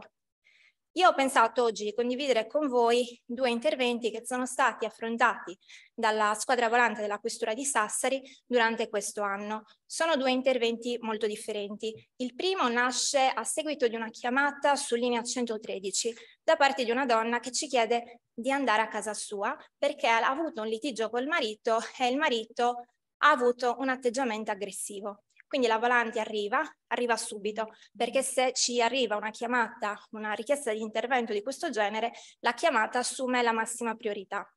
La volante arriva e la donna ha, subito accusa un malore. Quindi in prima battuta viene ovviamente richiesto il soccorso da parte del personale del 118 Successivamente, una volta che la situazione si è ristabilita, la, la, signora riesce a instaurare, i nostri poliziotti riescono con lei a instaurare un dialogo dal quale conferma che ha richiesto l'intervento dei poliziotti proprio perché ha avuto un litigio col marito. Però eh, nel corso del dialogo emerge anche che in realtà questo comportamento aggressivo che l'uomo ha avuto nei suoi confronti non è un episodio unico, ma è una condotta reiterata che va avanti dal 1987 e stiamo parlando del 2022. La donna ci fornisce una descrizione molto dettagliata delle condotte che ha subito. Ci parla di percosse anche quando teneva in braccio i figli neonati, di sputi, di continue offese alla sua dignità femminile e di privazione della libertà economica. Ci dice anche che sì, in passato qualche volta ha eh, presentato querela, però poi ha sempre rimesso questa querela, fondamentalmente perché eh, il marito le prometteva che sarebbe cambiato. Il nostro intervento in questo caso si è concluso con un arresto in flagranza di reato per maltrattamento in famiglia. Quindi a seguito della convalida gli è stato applicato l'allontanamento dalla casa familiare. E questo è il primo. Un altro intervento invece è un intervento un po' più particolare. Nasce una domenica pomeriggio in una via centrale della città di Sassari, quindi veniamo chiamati su linea 113 da dei passanti che ci segnalano una lite tra due ragazzi. Quando la volante arriva non si è arrivato allo scontro fisico perché fra i due ragazzi si è frapposta una ragazza. Il nostro intervento in questo caso si conclude con una denuncia, con due denunce in stato di libertà per un porto di oggetti atti ad offendere. La ragazza riporta delle lievi escoriazioni alla mano, quindi i poliziotti le consigliano di recarsi al pronto soccorso e poi presentarsi presso i nostri uffici, l'ufficio denunce, per presentare querela. Effettivamente, l'indomani la ragazza si presenta presso il nostro ufficio denunce per presentare una querela per lesioni personali, lesioni che sono state quantificate in cinque giorni. In questo caso però la nostra poliziotta ha instaurato con la ragazza un dialogo. All'esito di questo dialogo è emerso che i due ragazzi che eh, insomma erano in procinto di eh, scontrarsi, uno era l'ex fidanzato della ragazza e l'altro invece l'attuale fidanzato. La ragazza ha lasciato il suo precedente fidanzato perché tra loro si era creato un rapporto che non era esattamente sano. Lui aveva un atteggiamento molto possessivo nei suoi confronti e cercava quindi di allontanarla dai suoi effetti, effetti più cari. Ci racconta quindi che la riempie di messaggi, chiamate e anche di minacce. Quindi la sera precedente si erano incontrati per chiarire la situazione. Il dialogo però prosegue e la ragazza ci racconta che rispetto alla sera precedente, quindi il nostro intervento più o meno era della domenica verso le 19, a quel momento in cui la ragazza si è presentata al nostro ufficio denunce, quindi stiamo parlando del lunedì pomeriggio, il suo ex fidanzato le ha fatto ben 90 chiamate. Questo per noi ha rappresentato ovviamente un campanello d'allarme perché 90 chiamate in meno di un giorno ovviamente non è stato ritenuta una condotta normale.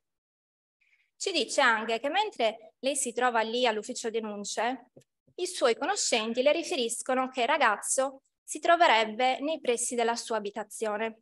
Allora in questo caso l'ufficio denuncia acquisito questa notizia ha dato l'informazione alla nostra sala operativa che ha disposto l'invio della pattuglia nei pressi dell'abitazione della ragazza dove effettivamente è stato rintracciato un ragazzo non residente a Sassari che non ha saputo giustificare la sua presenza sul luogo. Quindi considerata questa condotta, considerata il contenuto della querela presentata, il nostro intervento in questo caso, quindi il secondo, si è concluso con un arresto in flagranza di reato per atti persecutori. Io adesso ho cercato di raggiungervi, di, insomma, di eh, sintetizzare due, due casi che sono a mio giudizio abbastanza importanti, anche perché in entrambi i casi abbiamo avuto un arresto in flagranza di reato. Ci sono molteplici spunti di riflessione, però ritengo che i più importanti, quelli che tengo quindi a mettere in evidenza, siano due. Perché da questi due esempi penso possa emergere la sfida quotidiana della Polizia di Stato, che è quella di convincere le vittime di violenza di genere ad uscire dal proprio silenzio, ma dall'altro penso anche che rappresentino l'impegno costante da parte nostra di andare ad analizzare e studiare ogni sintomo di violenza di genere, in modo che noi possiamo esercitare quelle che sono le nostre prerogative esclusive, sia in via preventiva che in via repressiva, ma soprattutto in via depensiva. Ho concluso e vi ringrazio.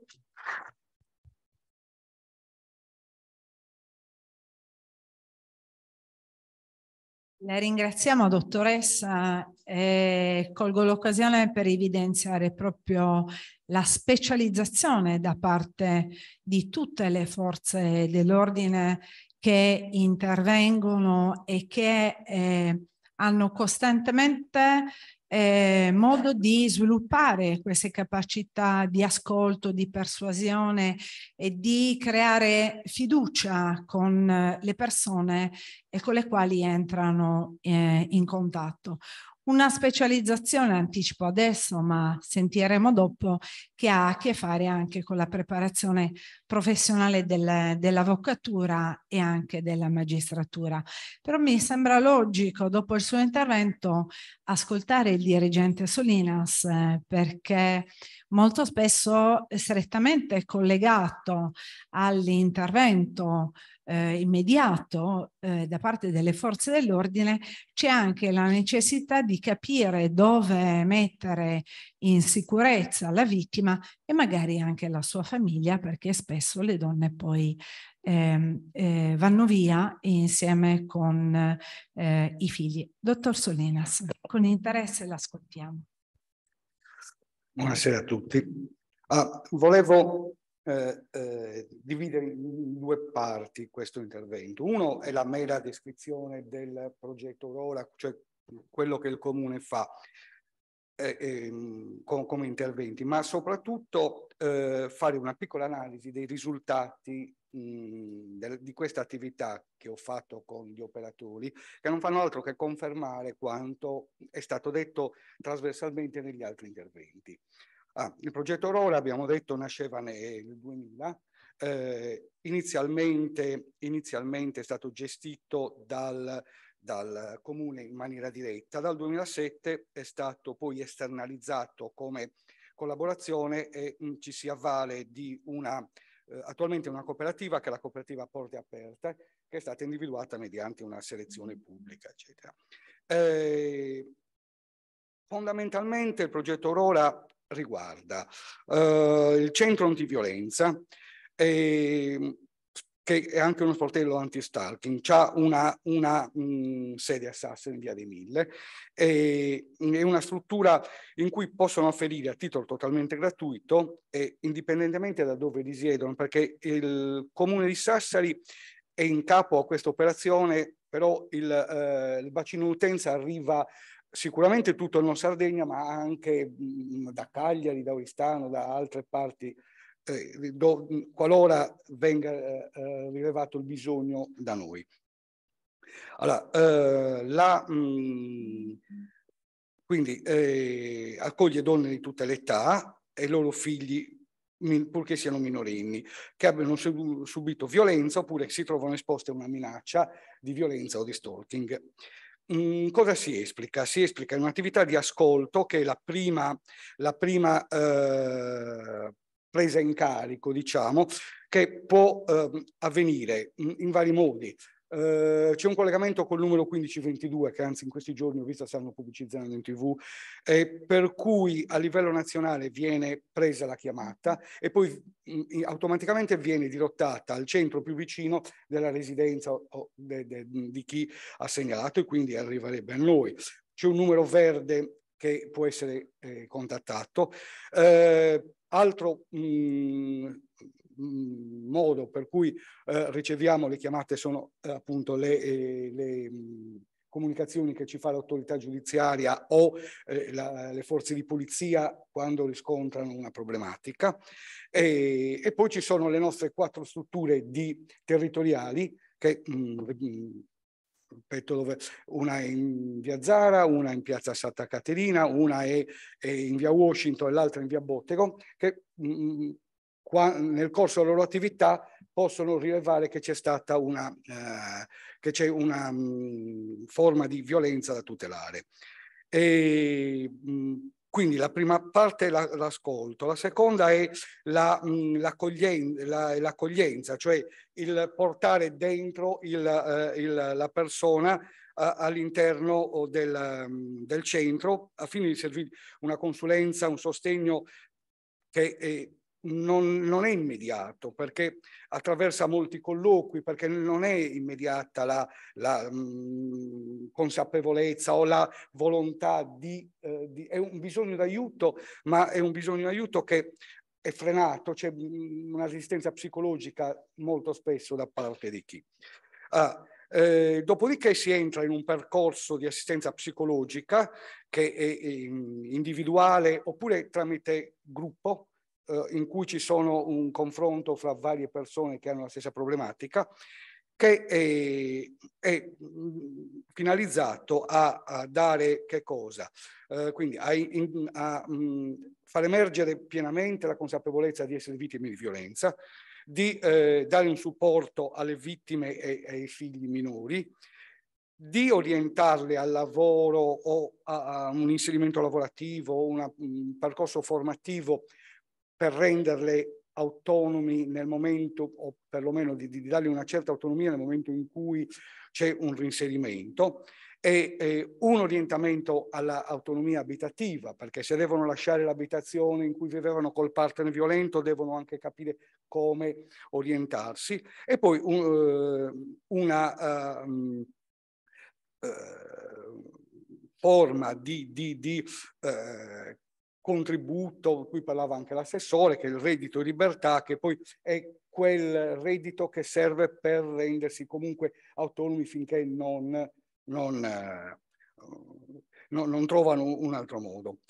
Eh, poi c'è la casa di accoglienza, la casa Aurora, viene, ehm, in cui le vittime vengono indirizzate nelle situazioni più drammatiche, quando è necessario un intervento di protezione e, come diceva la dottoressa, dietro un'opportuna valutazione del rischio si deve vedere se effettivamente l'unica alternativa è quella di poterle mettere in questa, in questa casa che accoglie sia le donne che i loro figli minori.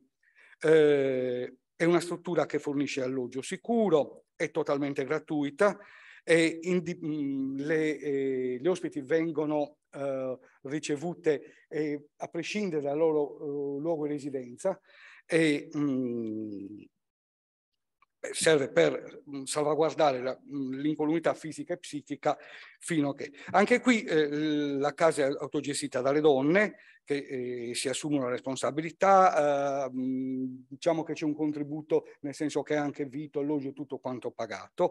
E, e mh, durante questa permanenza si attiva un programma, un programma che, eh, la, che eh, serve anche qua per renderle progressivamente eh, mh, autonome o quantomeno autosufficienti perché possano arrivare a, a andare via e, e potersi creare una vita autonoma senza eh, mh, avere più niente a che fare con chi le, eh, le aveva dato, insomma, le aveva creato questa condizione.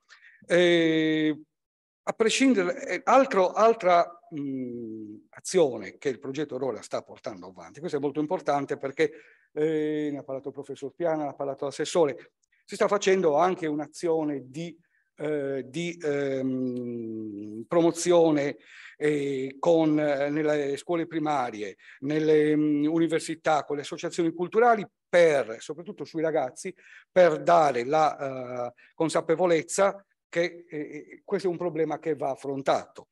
Eh, si parlerà di questo proprio in quel convegno del 25 dove c'è proprio una reportistica di quello che eh, sono stati i risultati degli interventi nelle scuole.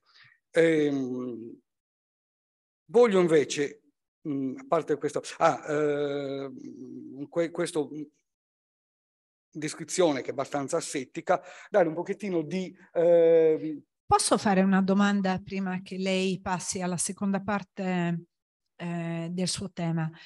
Eh, come fanno le donne a chiedere il reddito di libertà? Devono fare, devono comunque No, fai, fai Grazie perché trovo che sì, sia sì. Eh, certo. un, chi, chiunque di voi mi voglia no, rispondere anche sì, l'assessore Useli sì. è un messaggio importante che possiamo far partire da quest'aula. Sì, eh, grazie. Sì, forse è, è, giusto chiarire questo passaggio.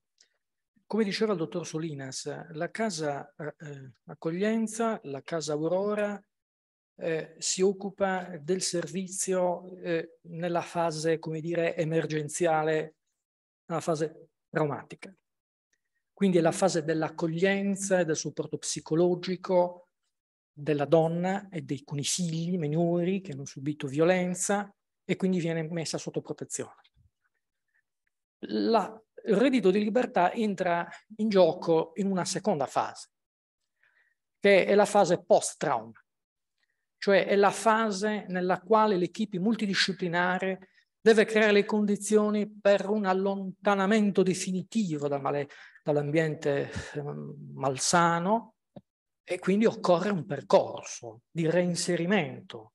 Questo percorso di reinserimento viene fatto attraverso lo strumento del reddito di libertà, quindi la donna deve presentare la domanda, una volta che sta per finire la esperienza presso la casa di accoglienza, deve presentare la domanda, questa domanda viene valutata dal nostro, dai, nostri, dal nostro e dai nostri operatori, psicologo e assistente sociale, e questo reddito di, di libertà le consente di avere un contributo economico che eh, insomma ci protrae anche per un biennio, in modo che possa essere autonoma sul piano eh, abitativo, economico, e quindi si intraprende un percorso lavorativo per essere libera, libera da quelle aggressioni morali, psicologiche. Ecco, quindi sono queste due step. Noi abbiamo anche dei numeri. Soprattutto, soprattutto come detto, esatto, la, la, la, parte economica è fondamentale, la sudditanza. È, è, è, quello che dicevamo prima della supremazia che viene espressa poi con il potere economico. Esatto. Ecco che allora noi dobbiamo rompere questo, questa, eh, questo legame eh, perverso eh, in modo tale che accompagniamo la, la donna per, eh, in un mondo lavorativo eh, autonomo insieme ai minori. Prego. Abbiamo messo a disposizione anche i contatti con numero di telefono e indirizzi in maniera che possano essere divulgati. Aggiungo a quello che ha detto l'assessore Meazza che a prescindere dal reddito di libertà il comune attraverso il settore politica della casa eroga anche dei contributi di affitto, nel senso che se c'è un limite il reddito definito, se c'è e, e, e un contratto di affitto in essere, il comune dà un contributo comunque per poter avere una casa. Questo eh, a prescindere, lo dà a tutti, quindi eh, a tutti quelli che hanno requisiti, è chiaro che rientrano anche questi. Ah, eh, quindi volevo fare un po' l'analisi. Di essere un po' sintetico perché ho guardato l'orologio. Due minuti. Grazie. Allora, eh, un po' di analisi di quello che è risultato in tanti anni di attività. Allora, eh, si rivolgono oh, donne prevalentemente italiane, diciamo 80% italiane e 20% straniere. Nell'85% dei casi sono donne vittime di eh, violenza fatta da partner o ex partner appartengono a tutte le classi sociali. La violenza non ha uh, titolo di studio, non ha, non ha, livello culturale, livello sociale, per cui è trasversale. Diciamo che può essere più semplice risolverla per chi ha un, un capacità economica. Mm, come diceva uh, la dottoressa, eh, sono ci si, rivol- ci, cioè, si, sono rivolte al, al, centro di violenza donne di 70 anni che hanno subito per decenni violenza, oppure anche ragazzini proprio, eh, eh, molto giovani che vengono indirizzati molto spesso dalle forze dell'ordine. E quindi trova conferma tutto. il denominatore comune è il fatto che sono persone limitate nelle loro azioni, eh, a cui viene impedito molto spesso di uscire di casa o di frequentare amici e parenti e che non hanno autonomia economica sono insicure perché eh, si sentono quasi in, uh, sono state inibite anche da, da, da um, prendere decisioni sull'educazione dei figli, eh, hanno paura di eh, contraddire il partner per non fargli suscitare reazioni violente. E, ehm, la violenza psicologica è molto più frequente di quella fisica, eh, però è più insidiosa. Mm, è più facile farla emergere rispetto a quella fisica, quella fisica ne parlano con più vergogna. Addirittura dice no, non, non, non è violento, mi prende solo a schiaffi, come se prende essere presi a schiaffi non fosse violenza. È Quindi questo, però è, è, è, una, è, certamente. E, ehm, gli operatori sono consapevoli che ci vuole molto tempo prima che la donna possa affrontare e parlare apertamente della propria condizione. Quindi eh, eh, mh, perché si sente umiliata. In questo caso loro definiscono un lavoro di attesa, tanto sanno che prima o poi riusciranno a far emergere questa violenza. E nel, quando hanno iniziato nel 2000 eh, l'hanno definita una eh, attività di prevenzione terziaria, cioè lavorare con le vittime quando ormai la emersa completamente la, la, situazione. Invece adesso stanno lavorando molto sulla prevenzione primaria, quindi eh, collaborazioni col mondo della scuola, l'università, associazioni culturali e mh, puntano molto a parlare, soprattutto con le generazioni più giovani, eh, della violenza, per costruire un modello culturale di non violenza e, e con la consapevolezza che la violenza non deve rimanere nascosta tra le mura domestiche, ma deve essere considerata un problema sociale. E il messaggio che vogliono far passare è questo qua. E chiaramente è un intervento molto laborioso. Eh, Quindi, eh, per concludere voglio dire un'altra cosa. Io sono responsabile del settore politiche sociali da poco più di un mese. Ho trovato un settore dove c'è un elevato livello professionale degli operatori, ma non solo è elevato il livello professionale, ma c'è anche un senso di attaccamento, di vizione al lavoro che è veramente esemplare. Quindi eh, c'è proprio è quello, è quello che è ideale come aspetto quando eh, tu devi soddisfare dei problemi della persona, non della cosa. E quindi mh, lo, Ci vuole lo voglio rimarcare perché efficienza no, in ogni mio, ma ho trovato certamente, certamente. D'accordo. Grazie. Sì, sì.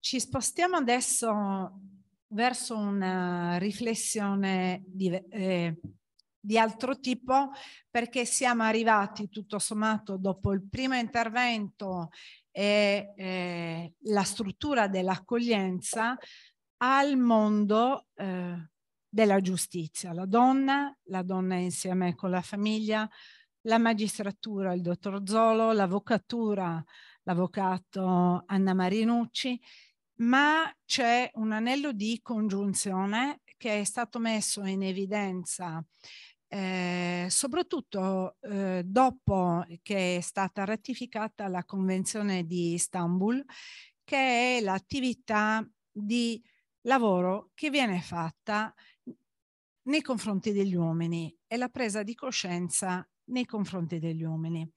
Eh, la Corte di Strasburgo quest'anno è intervenuta da, mm, da gennaio adesso eh, tre volte sul tema della violenza domestica, della violenza di genere, eh, di che cosa viene fatto da parte della magistratura, di come si intervente.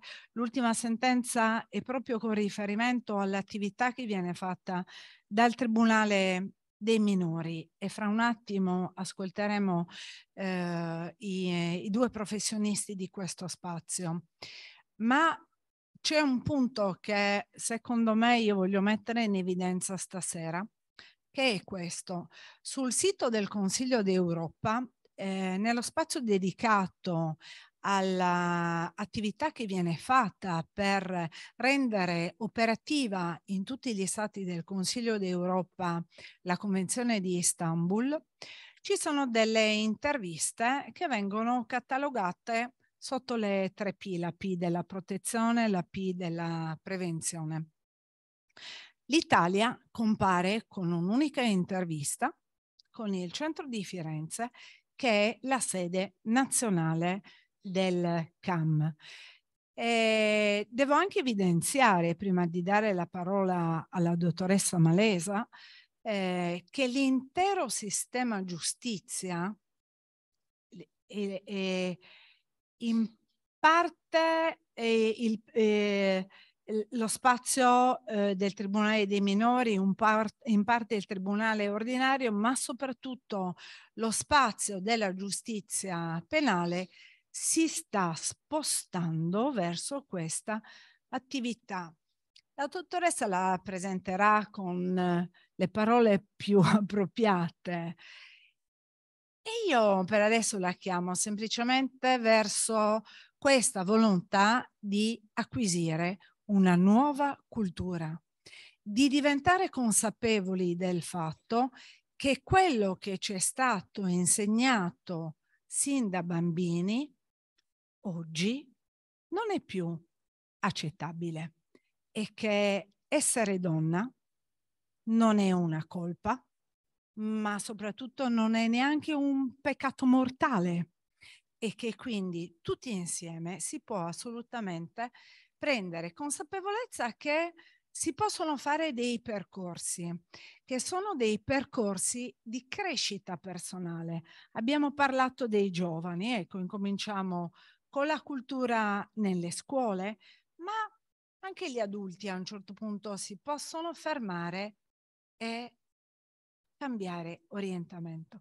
Dottoressa Malesa, ci racconti lei che cos'è il CAM e che cosa viene fatto adesso dal CAM, perché poi come si entra nel processo penale lo diremo alla prossima puntata, ma soprattutto il valore adesso di questa attività. Grazie. Grazie a voi di questo invito, sono molto onorata ma anche molto emozionata. Eh, sono anche molto emozionata, soprattutto sono stata coinvolta da tanti passaggi di questa, eh, insomma, degli, dei relatori che mi hanno preceduto, ma mi sono particolarmente coinvolta eh, nelle parole dell'assessore eh, Solinas quando descriveva la fatica, io ho percepito e ho ricordato la fatica che le donne devono fare per uscire da una relazione violenta. Ma io ad un certo punto, io nasco come operatrice di un centro antiviolenza, per tanti anni ho ascoltato donne, ma anche quando la rappresentante dalle forze di polizia raccontava i due episodi, eh, io mi sono sentita ribaltata sia nel mondo che mi ha accompagnato eh, prima di diventare presidente del CAM e pensare che invece la rieducazione degli uomini fosse fondamentale e, e dovesse essere messa al centro. Eh, però mi sono anche rivista, diciamo, nell'ascoltare o nel leggere tanti atti giudiziari che ovviamente oggi ci, con cui ci dobbiamo confrontare quando lavoriamo con gli uomini. Um, io so che il tempo stringe e, e, so che ci sono tanti interventi, quindi magari farò un po' con voi questo excursus di chi siamo, di cosa facciamo, qual è veramente il, la, il, diciamo, il cuore del nostro intervento eh, lavorare con gli uomini autori di violenza. E come magari... si arriva a voi? Anche per anche lei, come, come si, si arriva a voi? Io sarò breve nel fare proprio un brevissimo excursus, anche un pochino storico di come nasce il nostro servizio.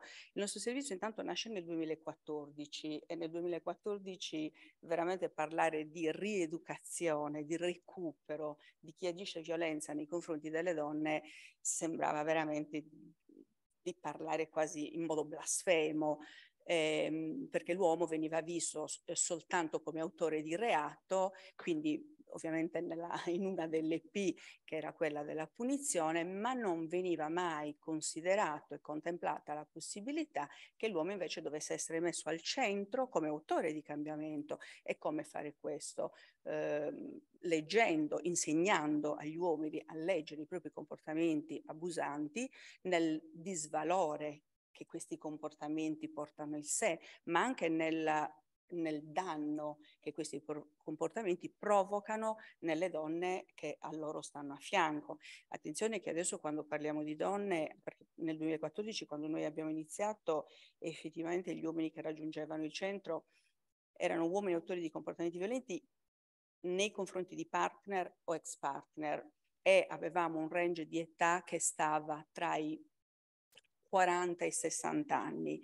Oggi abbiamo uomini, abbiamo intanto un range d'età che dire, ha divaricato questa forbice in un modo pi piuttosto significativo. Quindi abbiamo giovani adulti, parliamo già di giovani che a 16 anni agiscono violenza nei confronti prima ancora che delle prime fidanzatine, nei confronti delle madri questo per me è un grandissimo dolore. Non può essere questo spazio lasciato vuoto o, soltanto affidato agli aspetti di applicazione della, della giustizia. E, ehm, e poi abbiamo questo range così, come dire, si è ampliato anche in termini in eccesso, perché abbiamo anche uomini di 70 anni, che sono uomini che non solo si rendono colpevoli di eh, agire violenza con le loro partner, magari una vita di relazione, 30 anni di violenza. Immaginate cosa succede nella mente di una donna. Immaginate anche quanto sia in difficile intervenire culturalmente nella mente di un uomo che per 30 anni ha sentito come diritto fare esattamente quello che ha fatto. Il nostro non è un lavoro semplice, è un lavoro estremamente complesso, però è un lavoro che ha degli effetti assolutamente positivi e che comunque non può non essere fatto, perché altrimenti queste donne e noi donne, ma cosa tutto dobbiamo affrontare semplicemente per riprenderci un diritto che è nostro, che se non vogliamo più stare con un compagno perché lo riteniamo violento o si è comportato in modo violento e vogliamo lasciare questo compagno, ma perché dobbiamo denunciare, entrare in casa protetta, sradicarci dalle nostre abitudini, famiglie, affetti e nel fare questo portare con noi i nostri figli, che è una violenza nella violenza. Per una donna andare a denunciare il padre dei propri figli non è mai la prima scelta. Certo, è quella che tutti noi consigliamo. Io lo faccio ancora nella veste che ovviamente è nel ruolo che oggi ricopro, però per le donne non è mai un passaggio semplice, è una sofferenza immensa. Ecco perché a un certo punto noi, cioè io io per prima devo dire, perché poi sono stata seguita, devo dire la verità, con molto interesse da tutte le collaboratrici che ancora, collaboratrici e collaboratori, perché il nostro staff è multidisciplinare e prevede sia operatrici che operatori, ma perché parlo delle operatrici? Perché con loro con le quali ancora oggi lavoro e collaboro, abbiamo lavorato con, insieme al centro antiviolenza. Quindi tutte noi nel fare questo passaggio abbiamo piena coscienza delle criticità e delle sofferenze che le donne devono vivere e devono affrontare, semplicemente perché un uomo decide che il loro diritto di essere libere non può essere rispettato. Noi su questo non siamo d'accordo ed ecco su cosa si basa tutto il nostro lavoro. Se posso, io sono un po' demodé, ho, portato, ho preparato pochissime slide, ma proprio pochissime, per portarvi un pochino ancora eh, dentro il nostro mondo. E quindi se posso... Mentre organizzano le slide, io sì. aggiungo che Pronto, sì. forse ora che la Carmen possa avere un finale diverso. Eh sì perché la Carmen che noi tutti cantiamo e credo che sia una delle opere più conosciute, in realtà viene uccisa esattamente nel momento in cui lei dice ma io sono una donna libera. La Grazie. libertà noi non la dobbiamo pagare con la vita. Non è un peccato originale no. essere donna. Esatto.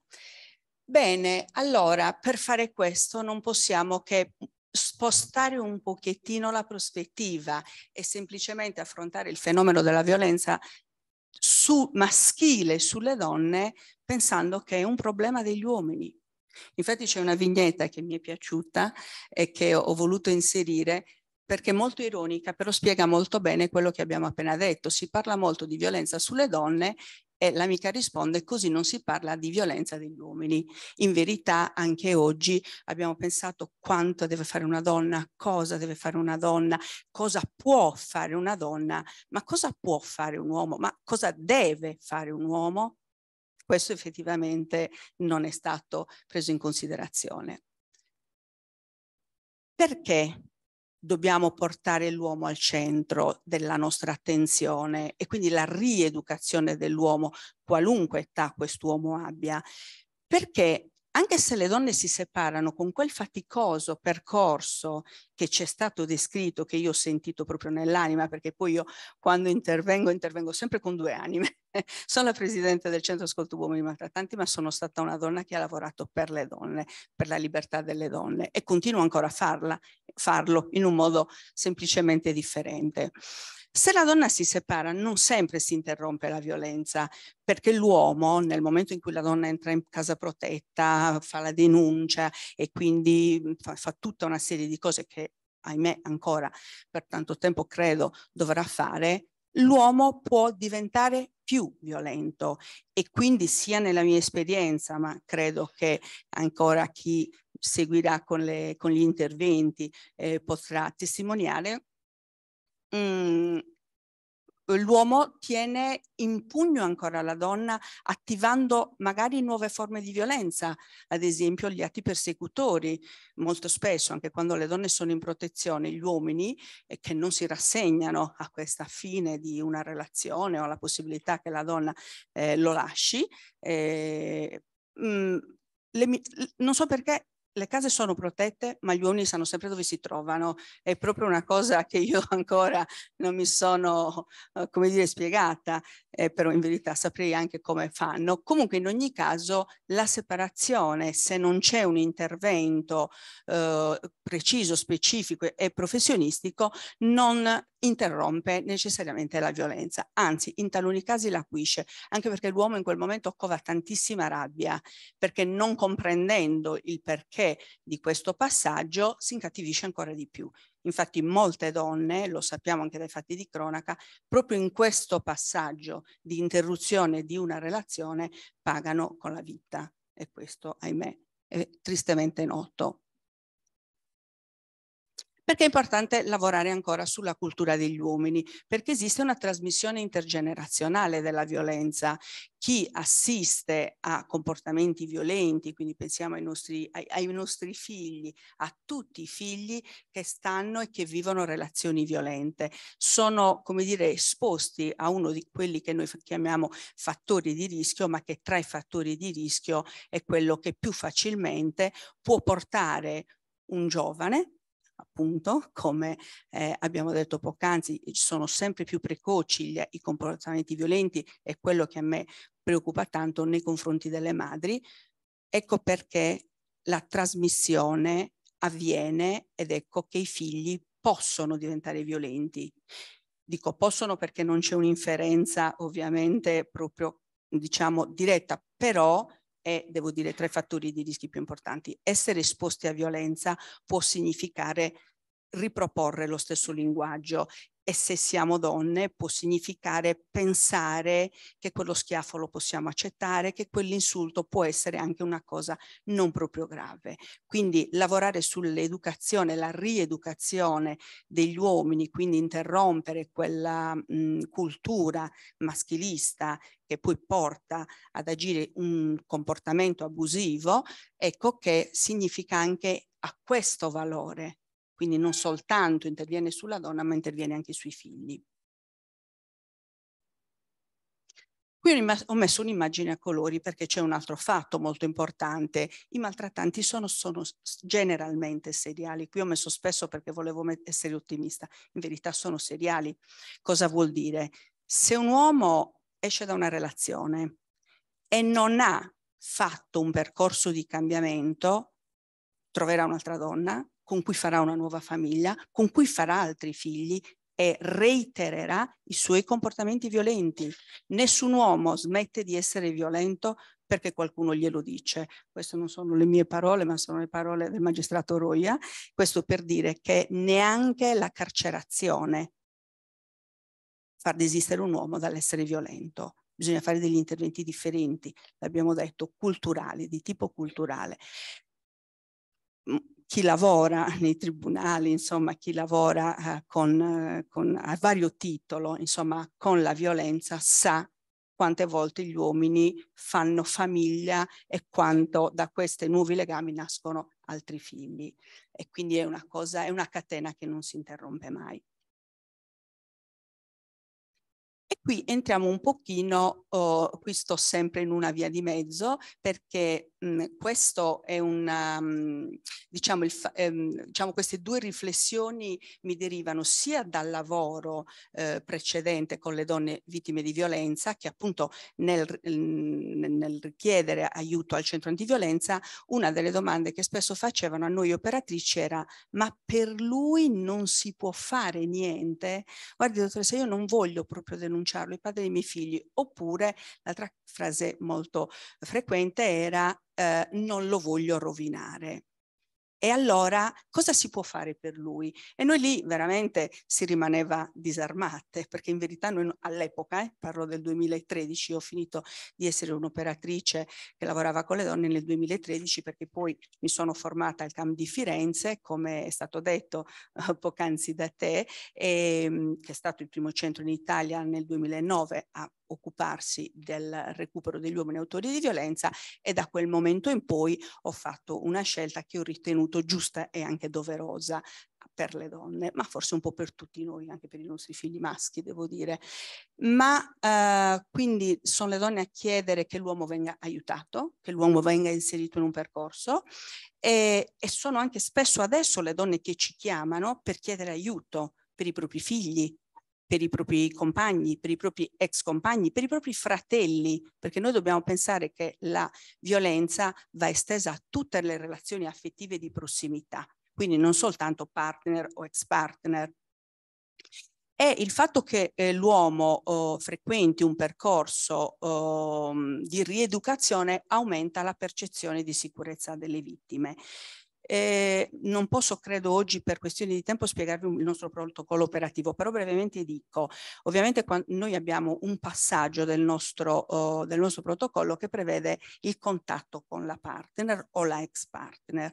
Ehm, quindi una delle questo contatto ha diverse funzioni, è, troppo, è, molto complesso e non lo posso fare adesso, però nell'inviare la donna al centro antiviolenza più vicino o comunque incoraggiarla se non l'ha fatto, capire le sue motivazioni e comunque incoraggiarla, fornire, fornire il recapito telefonico e quello che possiamo comunque eh, indicare perché lei lo possa tenere a portata di mano caso mai ne avesse bisogno, le donne mantengono anche il nostro recapito telefonico, quindi che siano in carico al centro antiviolenza o non lo siano, hanno la possibilità di contattarci e magari metterci al corrente del fatto che ad esempio il loro compagno, perché molte donne dobbiamo pensare che non tutte denunciano, non tutte escono dalla relazione, quindi molte donne decidono di stare in relazione perché la loro speranza è che il partner cambi. Ecco, in quelle donne eh, il fatto di poterci contattare eh, per loro è eh,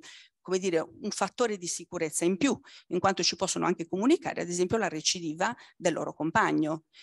Generalmente devo dire che gli uomini in percorso ci informano sulle loro recidive, ma se loro non lo fanno, la prova delle urine avviene attraverso il contatto con la partner. Scusate questa espressione, però è un po' così, perché altrimenti noi non sapremmo mai. Per andare a vedere quello che non esatto, si racconta. Perché non sappiamo mai se effettivamente dicono la verità. In linea di massima lo fanno. Bene, a questo punto è chiara la nostra mission. La violenza ovviamente non è un destino, perché se così fosse non potremmo fare niente per cambiarla, ma è una scelta e proprio perché è una scelta possiamo, possiamo intervenire, fare. possiamo fare molto per cambiarla.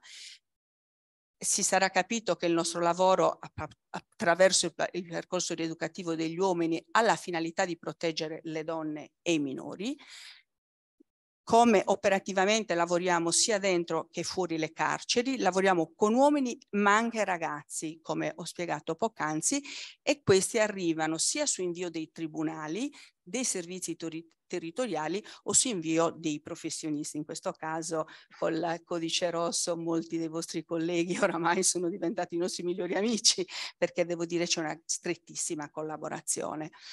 Eh, ovviamente non solo, perché ci sono uomini o giovani uomini che contattano il nostro servizio spontaneamente. Ci sono eh, momenti in cui gli uomini hanno coscienza di qualcosa, forse non di tutto, però di qualcosa e sapere che c'è uno spazio a cui si possono rivolgere li incoraggia a fare quella telefonata. Questo avviene quando riconoscono la paura negli occhi della propria compagna, ex compagna, madre, sorella, figlio o figlia, oppure perché hanno paura di agire in modo irreparabile.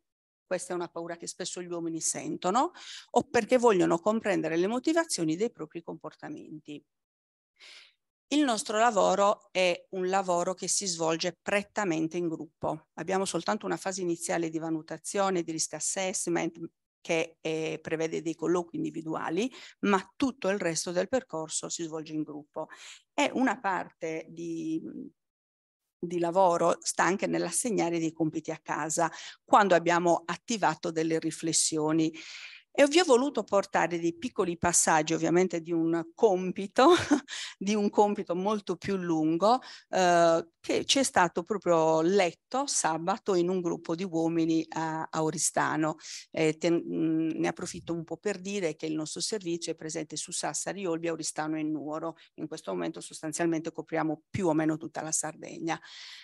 Eh, ho scelto questo anche un po' per sfattare un mito, perché abbiamo detto, ho sentito, non mi ricordo da chi, comunque sappiamo tutti che la violenza è trasversale, se questo riguarda le don donne riguarda anche gli uomini. Quindi non dobbiamo mai guardare soltanto all'aspetto della bassa scolarizzazione, della dipendenza da alcol, da sostanze, piuttosto che dalla disoccupazione, ma dobbiamo pensare che invece eh, l'uomo può essere ben inserito in un contesto lavorativo, sociale e amicale individuale e per questo ho scelto questa, diciamo, questo compito, perché un pochino, lo vedrete adesso le parole di Leonardo, eh, le userò per concludere questo mio intervento, ci fanno rendere conto di quanto lui invece sia un uomo di assolutamente ottima cultura e devo dire anche di ben inserito anche dal punto di vista lavorativo. Lui dice questo, Ogni persona, senza distinzione di età, stato sociale e cultura, ha diritto di ricevere un supporto, anche quando si è reso autore, consapevole o no, di qualsiasi tipo di violenza. Partendo da questo presupposto, che credo, se non ho capito male, sia anche lo spirito fondante del centro, concepisco il CAM come un centro di supporto psicologico e morale per aiutare ogni singolo partecipante a ritrovare un proprio e nuovo percorso di vita. Personalmente del CAM non ne conoscevo l'esistenza e tantomeno il suo ruolo nel frequentarlo, mio malgrado, mio malgrado era il frequentarlo ovviamente, credo di aver appreso sia il ruolo e sia lo spirito del suo agire, ossia un luogo di incontro dove la necessità di ascolto e di aiuto da parte dei suoi fruitori si incontra con il bisogno che gli stessi hanno di costruire un progetto di liberazione della violenza da ogni forma di violenza, perché anche loro si sentono liberati. Per le ragioni di qui sopra, il CAM è un luogo di accoglienza in cui la metodologia uti utilizzata, lega legacy percorso, ha come fine ultimo quello di far emergere e riconoscere la violenza nei suoi molteplici aspetti e meccanismi, luogo dunque in cui si riscontrano esperienze, in cui si incontrano esperienze di vita, saperi, consapevolezze e speranze. Il mio percorso lo vivo come un laboratorio in cui partendo dal proprio vissuto si sperimentano nuovi modelli relazionali e si acquisisce una piena consapevolezza attraverso la quale è auspicabile sia possibile ridurre il rischio che comportamenti violenti si ripetano e che e dove invece sia possibile sperimentare nuove risorse individuali alternative alla violenza. Fa una citazione, la violenza maschile alle donne è un fenomeno antico, tanto quanto la storia dell'umanità, che ha centrato la propria base sull'affermazione di un unico genere, considerato fintamente neutro. E ne cita la fonte. Nessuno strumento, sono convinto, è in, è in, grado di abbattere questo fenomeno, se non lo sforzo di una nuova consapevolezza e di un profondo, radicale cambio di cultura. Questo, auspico, sia il risultato a cui il CAM con il suo percorso voglia e sappia condurci. Leonardo è un uomo in percorso e io con questo vi ringrazio per l'attenzione e vi lascio a tante riflessioni. Grazie.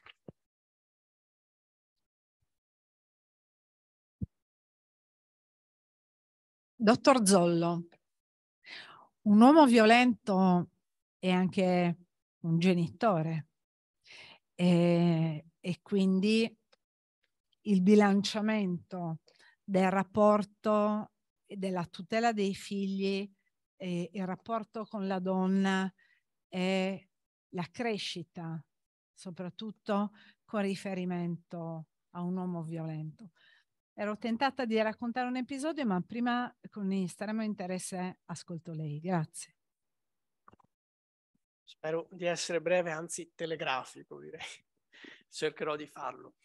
E quando, eh, intanto ringrazio voi che mi avete invitato e, e chi ci ascolta, eh, quando l'avvocata Bertoncelli, che ringrazio particolarmente, mi ha telefonato eh, per invitarmi qui ha fatto una riflessione abbastanza amara su cui ho riflettuto prima di decidere su cosa parlarvi. Cioè ha detto, dottore, ci parli di un caso eh, trattato voi dal Tribunale per i minorenni, però immagino che non abbia che l'imbarazzo della scelta, visto che, ahimè, ed è vero, i casi di violenza sono veramente tanti.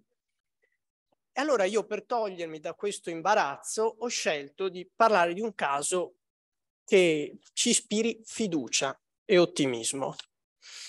Eh, è il caso di due minori, eh, uso un nome di fantasia ovviamente, eh, Miriam di 11 anni e Claudio di 4, di cui ci siamo occupati fino a pochi mesi fa.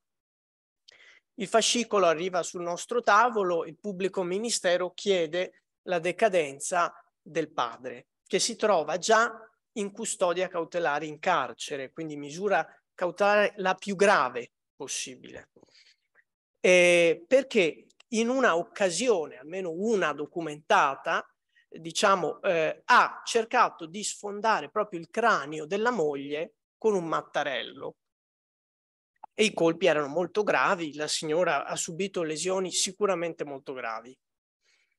E pare che i figli non fossero presenti in quella circostanza, però nonostante questo noi abbiamo scelto in via urgente di sospenderlo dalla responsabilità genitoriale ed interrompere ogni rapporto con i figli, in modo da consentire alla madre di prendere da sola le scelte per i suoi figli. Con il passare dei mesi, il giudice penale ha deciso di affievolire la misura cautelare, disponendo che questo signore, chiamiamolo per fantasia Giovanni, eh, dovesse semplicemente per modo di dire, eh, gli fosse vietato l'avvicinamento alla moglie, quindi una misura cautelare ben più lieve. Ecco. Allora noi abbiamo fatto una scelta difficile ma necessaria, sempre in via temporanea, e abbiamo detto, siccome poi bisognerà decidere sulla domanda di decadenza del padre, quindi abbiamo bisogno comunque di elementi per dire questo signore è adeguato o no a prendersi cura dei figli. Chiaramente la prospettiva che era lì per lì era no, visto l'episodio gravissimo, però noi abbiamo scelto comunque di avviarlo a un centro, a un percorso eh, di contrasto ai comportamenti maltrattanti per, tra virgolette, rieducarlo, vedere se c'era qualcosa di buono da poter recuperare in lui e di avviarlo a incontri con i figli in maniera, diciamo, eh, molto mediata e sorvegliata dagli assistenti sociali. Insomma, vario tempo dopo, circa un anno dopo, abbiamo avuto una piacevole sorpresa, nel senso che quest'uomo, pur resosi responsabile di un, un gravissimo atto di violenza, sicuramente da condannare, ha dimostrato una, una svolta, diciamo una iniziativa del tutto inaspettata all'inizio, cioè non solo partecipava alle riunioni, insomma, prescritte dal tribunale, arrivava addirittura in anticipo e spesso la dottoressa lo saprà, tante volte bisogna chiedersi questi dove siano perché spesso neanche avvisano che non partecipano, lui addirittura arrivava in anticipo, eh, partecipava a iniziative, chiedeva di potersi informare attraverso libri, eh, iniziative, eccetera. Insomma, un uomo, bisogna dire, eccezionale rispetto alle persone che vediamo maltrattanti di cui ci occupiamo. E gli incontri con i figli andavano bene, ma soprattutto il nodo era che i figli stessi chiedevano di stare più tempo col padre. Allora, per farla breve, noi alla fine, in definitiva, sempre mantenendo delle forti limitazioni nei suoi confronti, certamente, però abbiamo scelto in quel caso di non farlo decadere. Perché?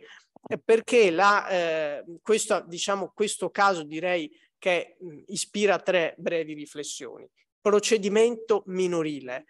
Non è un processo penale. Il processo penale giustamente è fatto per eventualmente sanzionare condotte illecite. Il procedimento minorile è un percorso che ha invece gli occhi rivolti al futuro, al destino. È possibile recuperare una persona? Perché alla fine è vero, si va sanzionata, però bisogna anche che poi sia una persona che si può rimettere in società, che si possa interfacciare con i figli in modo migliore, in modo da evitare ulteriori rischi. E quindi, vedo che devo concludere, ormai ho imparato dalla sua espressione in questa mezz'ora, diciamo, e, e l'ultima cosa, insomma, le ultime due brevi cose che mi pareva di dire, cioè la decadenza l'articolo 330 del codice civile dice un genitore deve essere dichiarato decaduto se ci sono due presupposti che devono essere entrambi compresenti, eh? perché molto spesso sono i casi più difficili, è presente uno solo dei due presupposti, invece devono essere presenti entrambi, cioè condotte gravi di abuso o trascuratezza, ma soprattutto un grave pregiudizio per i figli. Nel caso che noi abbiamo appena visto, sicuramente non c'è dubbio che c'era una condotta molto grave e che sarà sanzionata penalmente, speriamo. Però è anche vero che nel tempo, diciamo, con una prognosi per il futuro, il pregiudizio per i figli, visto l'andamento positivo degli incontri, le richieste appassionate dei figli di continuare a vedere il padre, i cambiamenti dimostrati dall'uomo, è chiaro che probabilmente la prognosi sul suo comportamento futuro è positiva mantenendo delle restrizioni che non siano però la recisione giuridica di un legame fra quel padre e i loro figli, che avrebbero sicuramente sofferto molto di più non potendolo vedere. E ultima cosa, non lo so, non vedo, a parte qui, diciamo, nelle prime file tanti avvocati, però io volevo dire solo una cosa e ci tenevo a dire, il ruolo ci sono? Sì, mi dico. Ah, benissimo. Non si nasconde, non nascondetevi. Voi. Allora, eh, eh, l'ultima cosa, il ruolo dell'avvocato minorile è fondamentale, più di tanti altri eh, ruoli forensi pur nobilissimi. Io già quando facevo la pratica forense qualche anno fa ho sempre pensato, lo penso ancora, che la professione di avvocato sia in fondo più difficile del, de, di quella di magistrato, perché voi comunque avete anche oltre che in mano, anche sotto gli occhi le vite dei, dei vostri assistiti.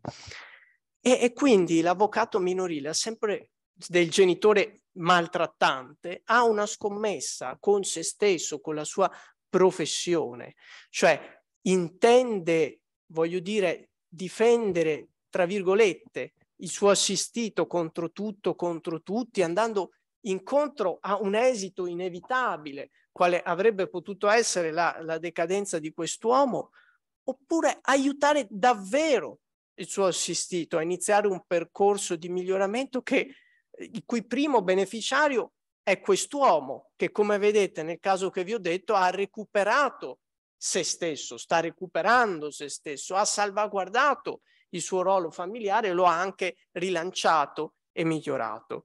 E quindi, insomma, eh, buon lavoro agli avvocati che esercitano questa professione e grazie per l'attenzione.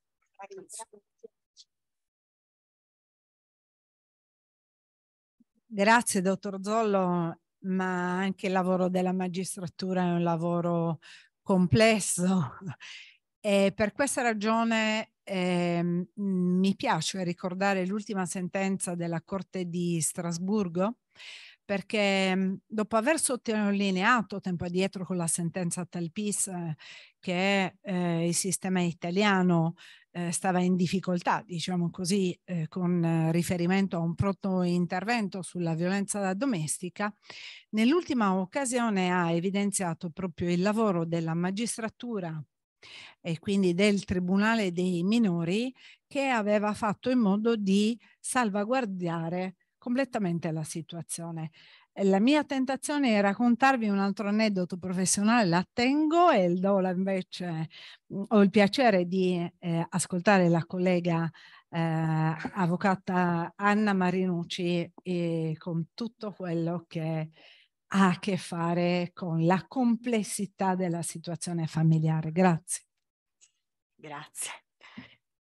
Buonasera a tutti, anch'io ringrazio ovviamente tutti coloro che hanno organizzato questo interessante incontro. Prima di tutto ovviamente Gabriella Bertoncelli e Antonietta Confalonieri e ovviamente tutti gli altri che hanno collaborato e l'università che ci ha ospitato. Eh, devo dire che eh, mi avete dato appunto l'opportunità di parlare di argomenti che mi stanno molto a cuore.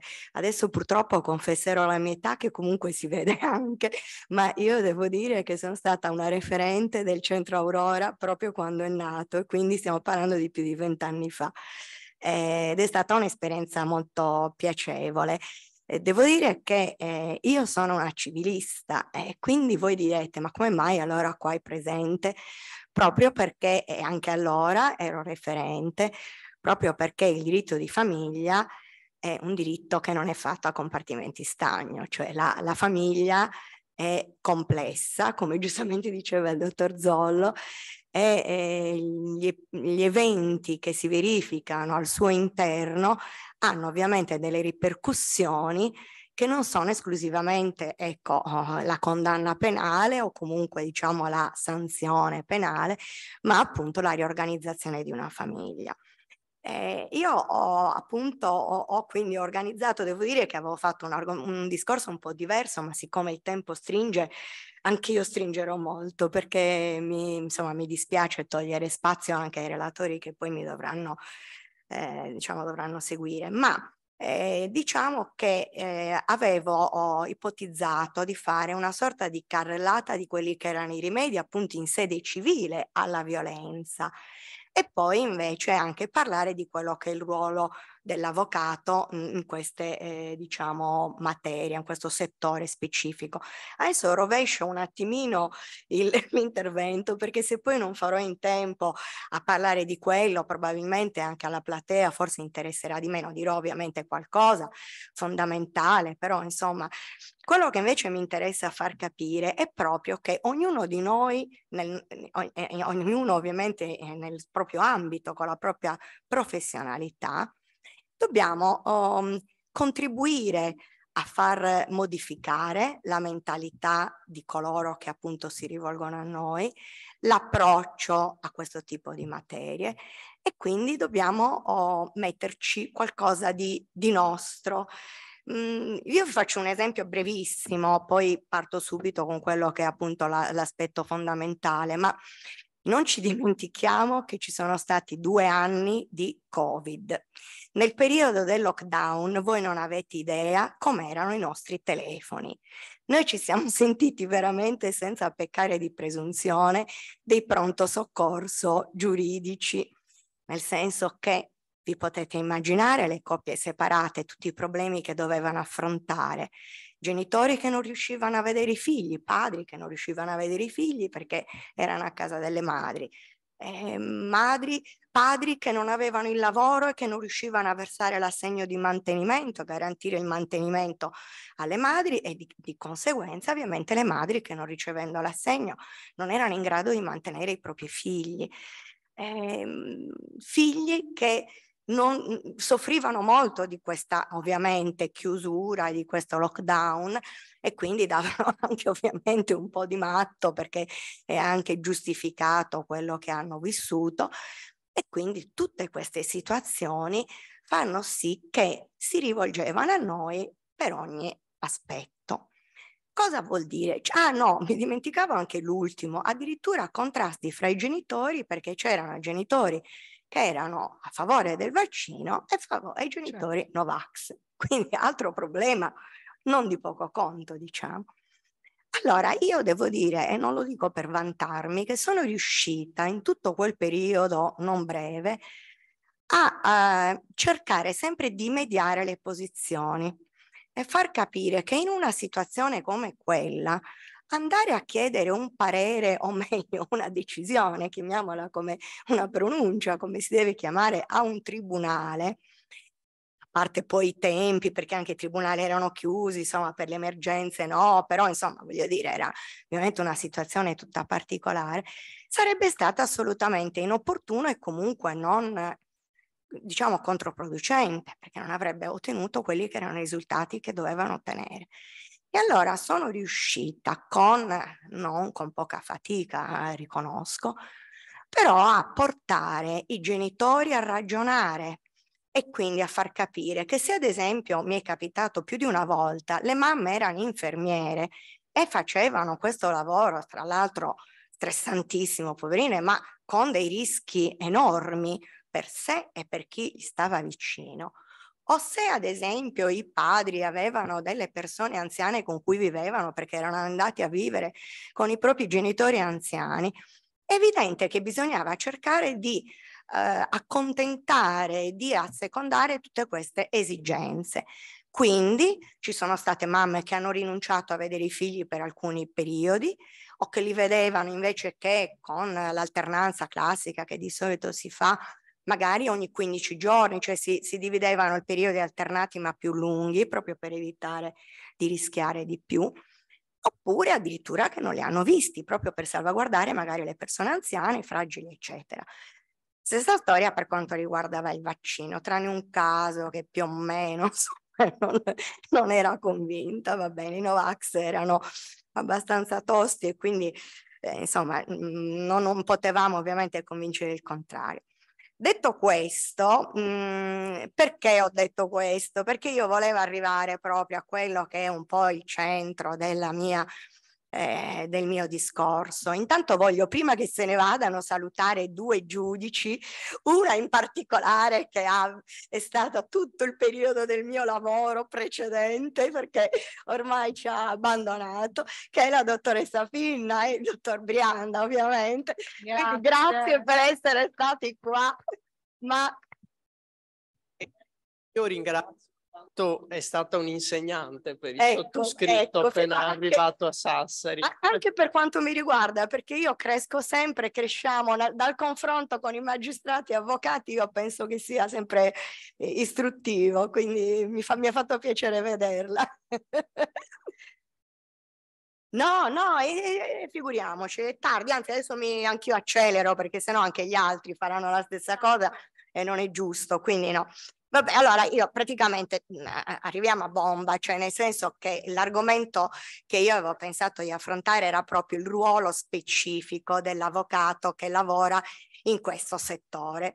Eh, quando noi, la, intanto chiaramente eh, questo lo dico perché veramente si sente di tutto e di più ultimamente per le persone che, avvocati, colleghi che hanno difeso eh, appunto assassini, persone che si sono, che hanno commesso femminicidi, eccetera, e sono state offese, minacciate, eccetera. Allora io su questo, vabbè, credo che non ci sia bisogno qua di dirlo, soprattutto per le persone che ho di fronte, ma Insomma, ricordiamoci che la difesa è un diritto inviolabile e che in ogni stato e grado del procedimento è costituzionalmente garantito dall'articolo 24 della Costituzione, quindi è giusto che chiunque abbia la propria difesa. Su questo ovviamente non ci piove.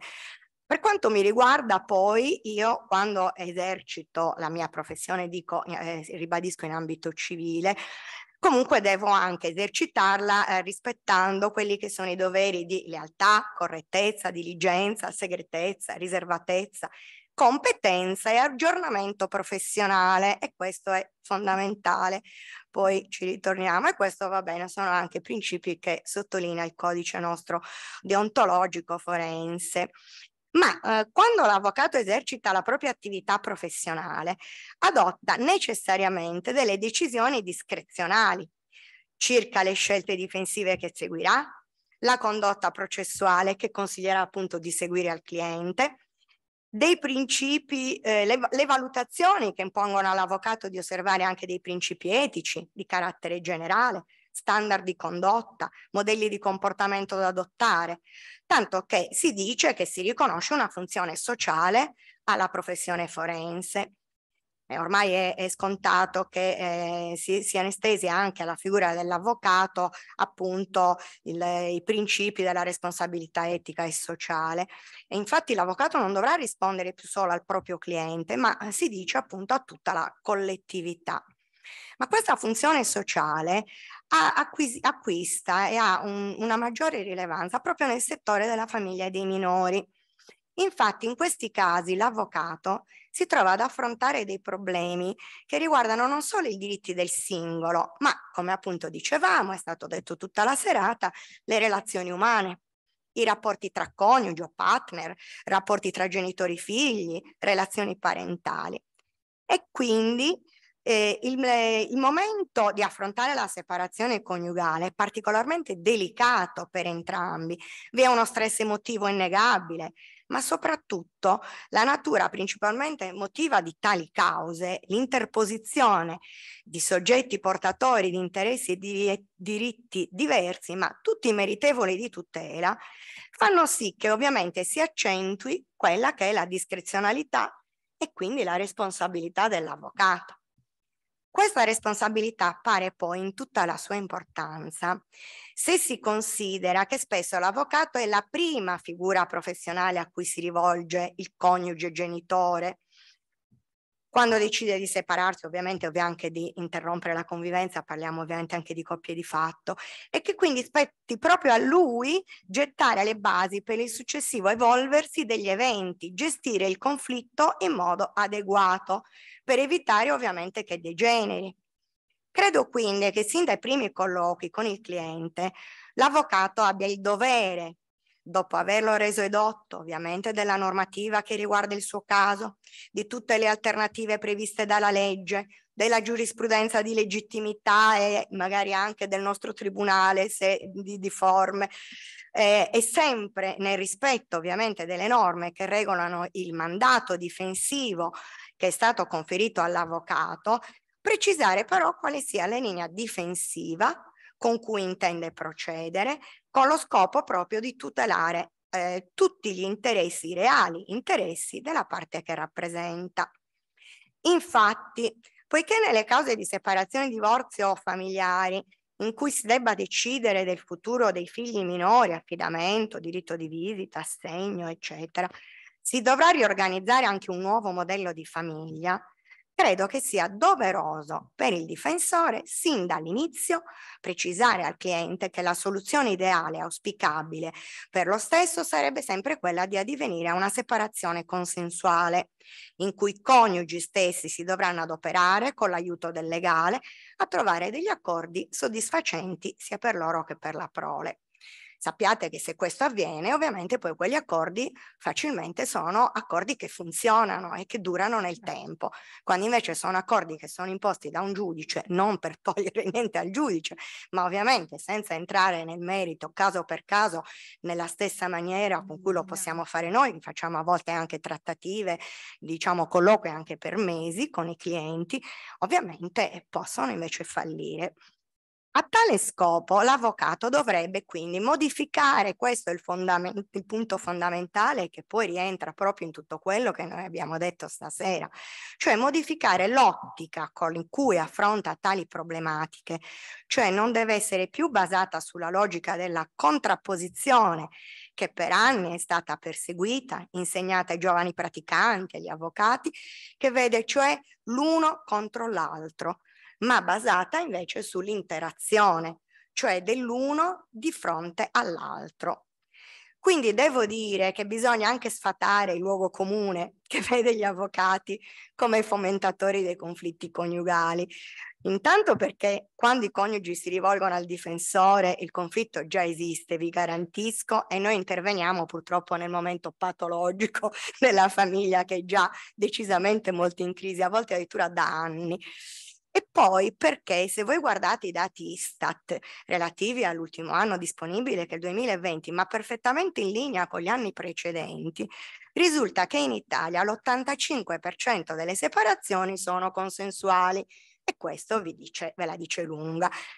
Poi mh, il 15% che rimane, alcune si trasformano anche in corso di causa, quindi insomma ancora meglio.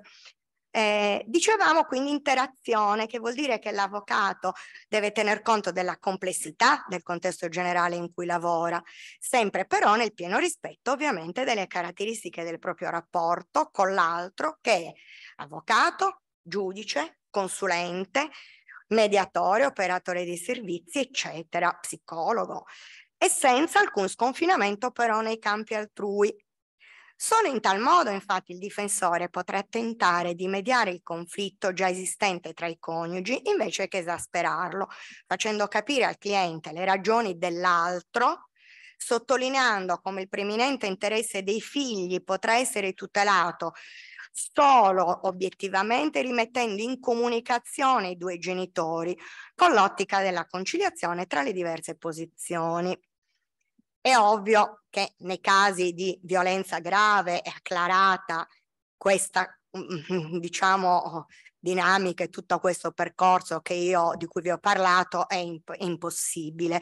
Fra l'altro io in questi casi collaboro anche con, fra tutte le altre figure professionali con cui mi rapporto, anche con l'avvocato penalista, essendo io ovviamente solo civilista, perché per me è anche molto importante che l'avvocato decida in maniera consapevole e, e diciamo responsabile se sia il caso di fare la denuncia o meno, se sia molto probabile che veramente il racconto, il vissuto della persona che, che ha subito violenza sia reale fino in fondo oppure no. Purtroppo devo dire per fortuna, anzi, sono pure poche le denunce perché come è stato detto anche stasera, le donne spesso non denunciano, quindi dovrebbero essere molto superiori il numero delle denunce.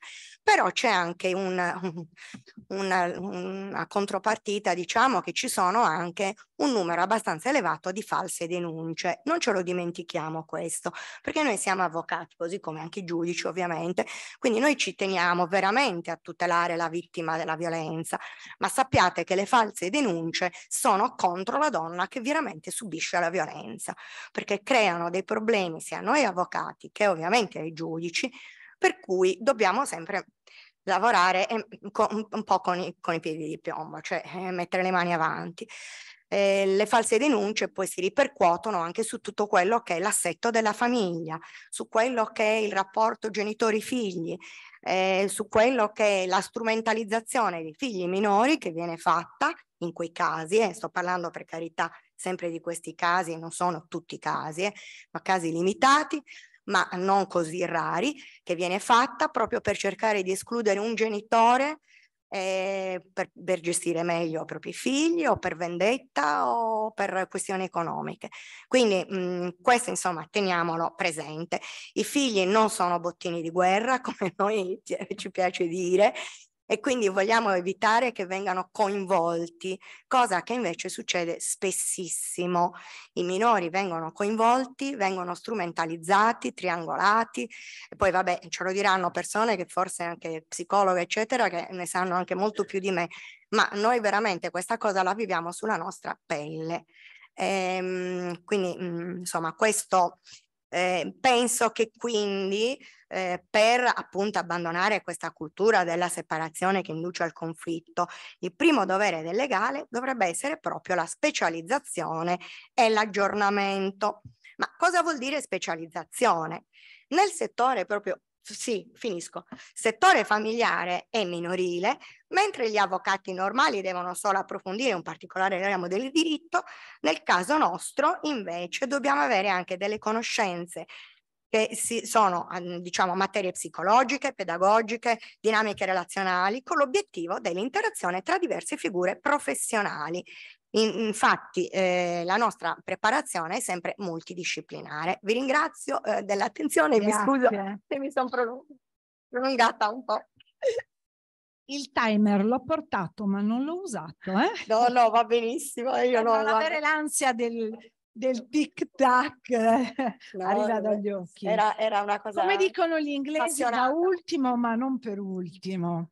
Ma poiché abbiamo parlato di cultura, cultura, cultura, la, eh, Laura Useri, assessore alla cultura e alle politiche sociali ed educative del comune di Sassari. Grazie. Buonasera a tutte e a tutti.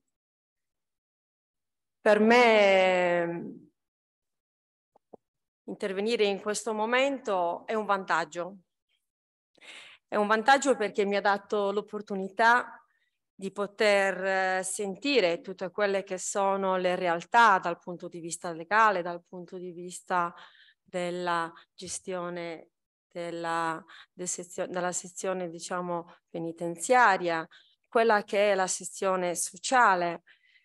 E, ehm, e questo mi porta comunque a, a fare un ragionamento molto pratico. Abbiamo parlato, avete parlato tutti di cultura. La cultura è a 360 gradi, la cultura è arte, no? La cultura è scienza, sapienza la cultura è anche come ci, ci proponiamo verso terzi o come ci confrontiamo con i terzi.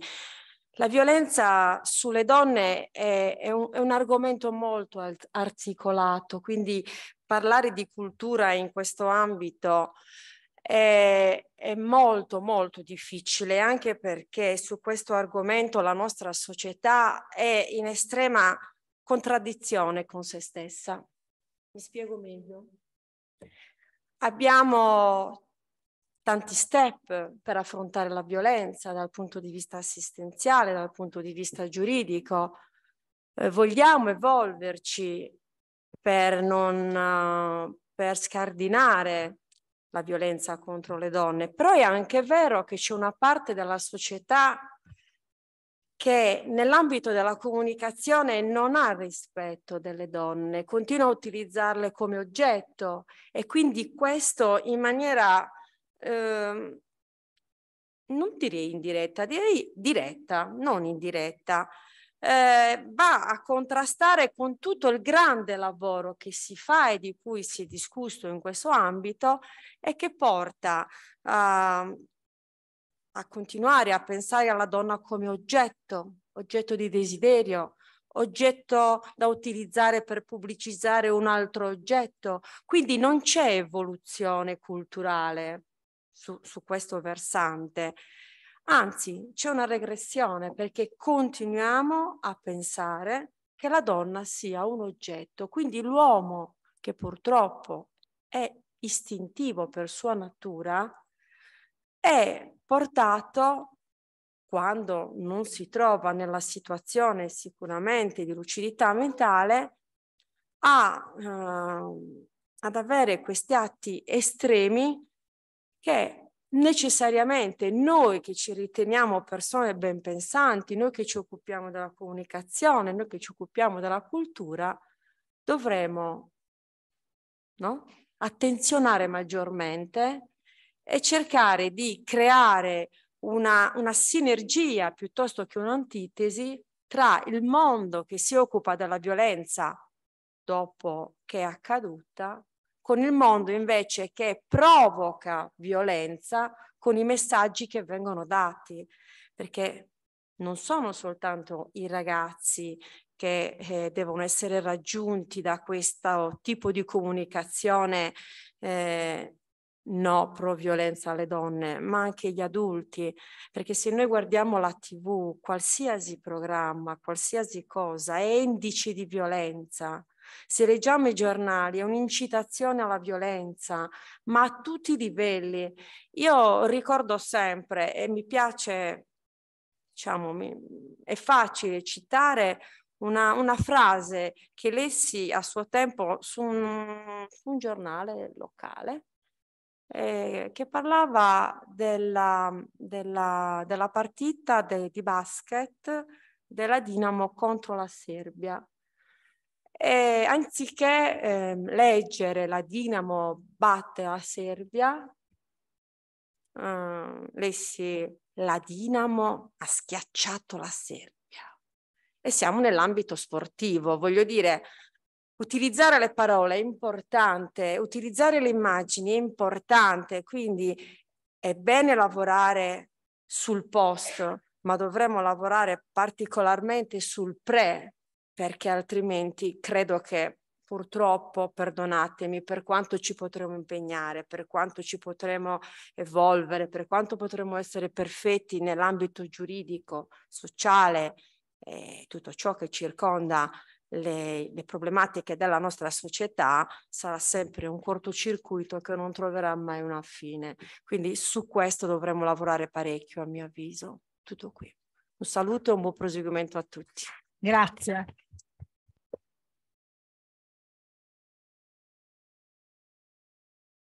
So che l'assessore ha un altro impegno istituzionale e quando crede eh, ci può... Allora, adesso la salutiamo e la lasciamo uscire dai lavori, la ringraziamo. Mentre da un punto di vista tecnico credo che potremmo intervenire, potre, potremmo chiedere di intervenire alla dottoressa Puzzolu che ci segue online. Eccola qua, dottor...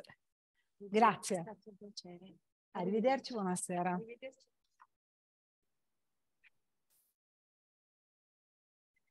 La dottoressa Tiziana Puzzolumura, consigliera regionale delle pari opportunità.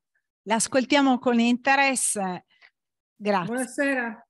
Buonasera a tutti, grazie. Io sono la consigliera di parità come la dottoressa Bianco che lì la, la Commissione Pari Opportunità è un altro organismo. Io sono la consigliera di parità della Regione Sardegna. Vi ringrazio ringrazio tutti, abbiamo poco tempo per, per, i ringraziamenti, consideriamoci tutti, come si dice, ringraziati. Vi ringrazio per questo invito, mi sarebbe piaciuto moltissimo essere lì causa maltempo, come sapete, non, potuta, non ho potuto fare la traversata sulla nostra disastrata 131, anche perché io in quell'aula mi sono laureata e quindi sarebbe stato un caramba veramente per me una cosa anche molto emozionante. Allora, le suggestioni e le cose dette sono tante. Eh, dal mio ruolo, le cose che, che posso aggiungere sulla questione della violenza e sulla violenza di genere sono che trovo che c'è una, no, una, una notevole similitudine tra il set della violenza agita in ambito familiare eh, rispetto alle molestie e alle violenze che le donne spesso subiscono nei luoghi di lavoro.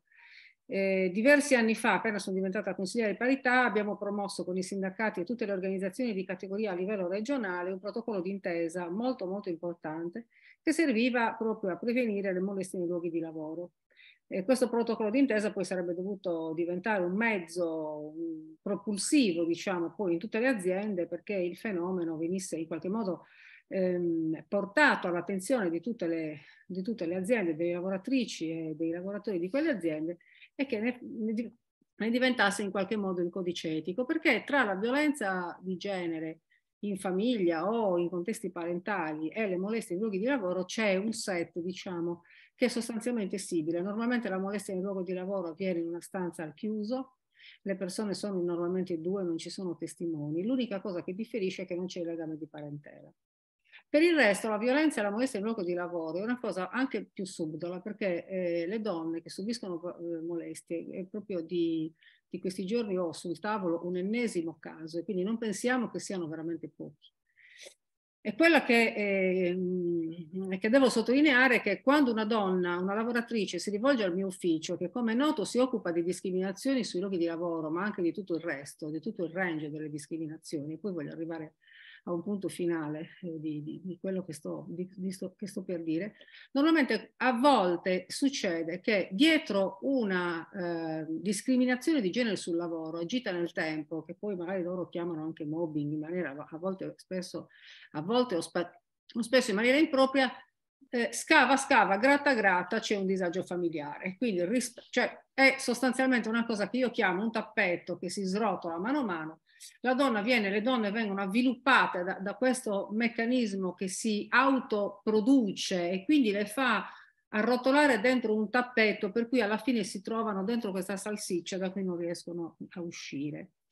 Ho proprio questi giorni eh, un altro caso che ho seguito quattro anni fa di una giovane lavoratrice che è venuta da me eh, perché il suo datore di lavoro di una piccolissima azienda questo simpaticone, diciamo, perché eh, obiettivamente poi sa, la, la, famosa fatti una risata, ma quando mai te la prendi, poi sono anche talmente intelligenti che mandano messaggi, video, quindi come dire, alimentano, alimentano le proprie, eh, come le posso chiamare, discriminazioni, no, il, il, il proprio essere uomini fino al punto 3 anche in maniera un po' ingenuotta, ecco, quindi quando arrivano le donne hanno spesso tutti gli screenshot delle cose che hanno scritto e tutto sommato è facile. È facile sì, è facile se non per il fatto che dopo una denuncia che eh, io ho l'obbligo di effettuare eh, per una situazione del genere, io come dire ho la sensazione che scatti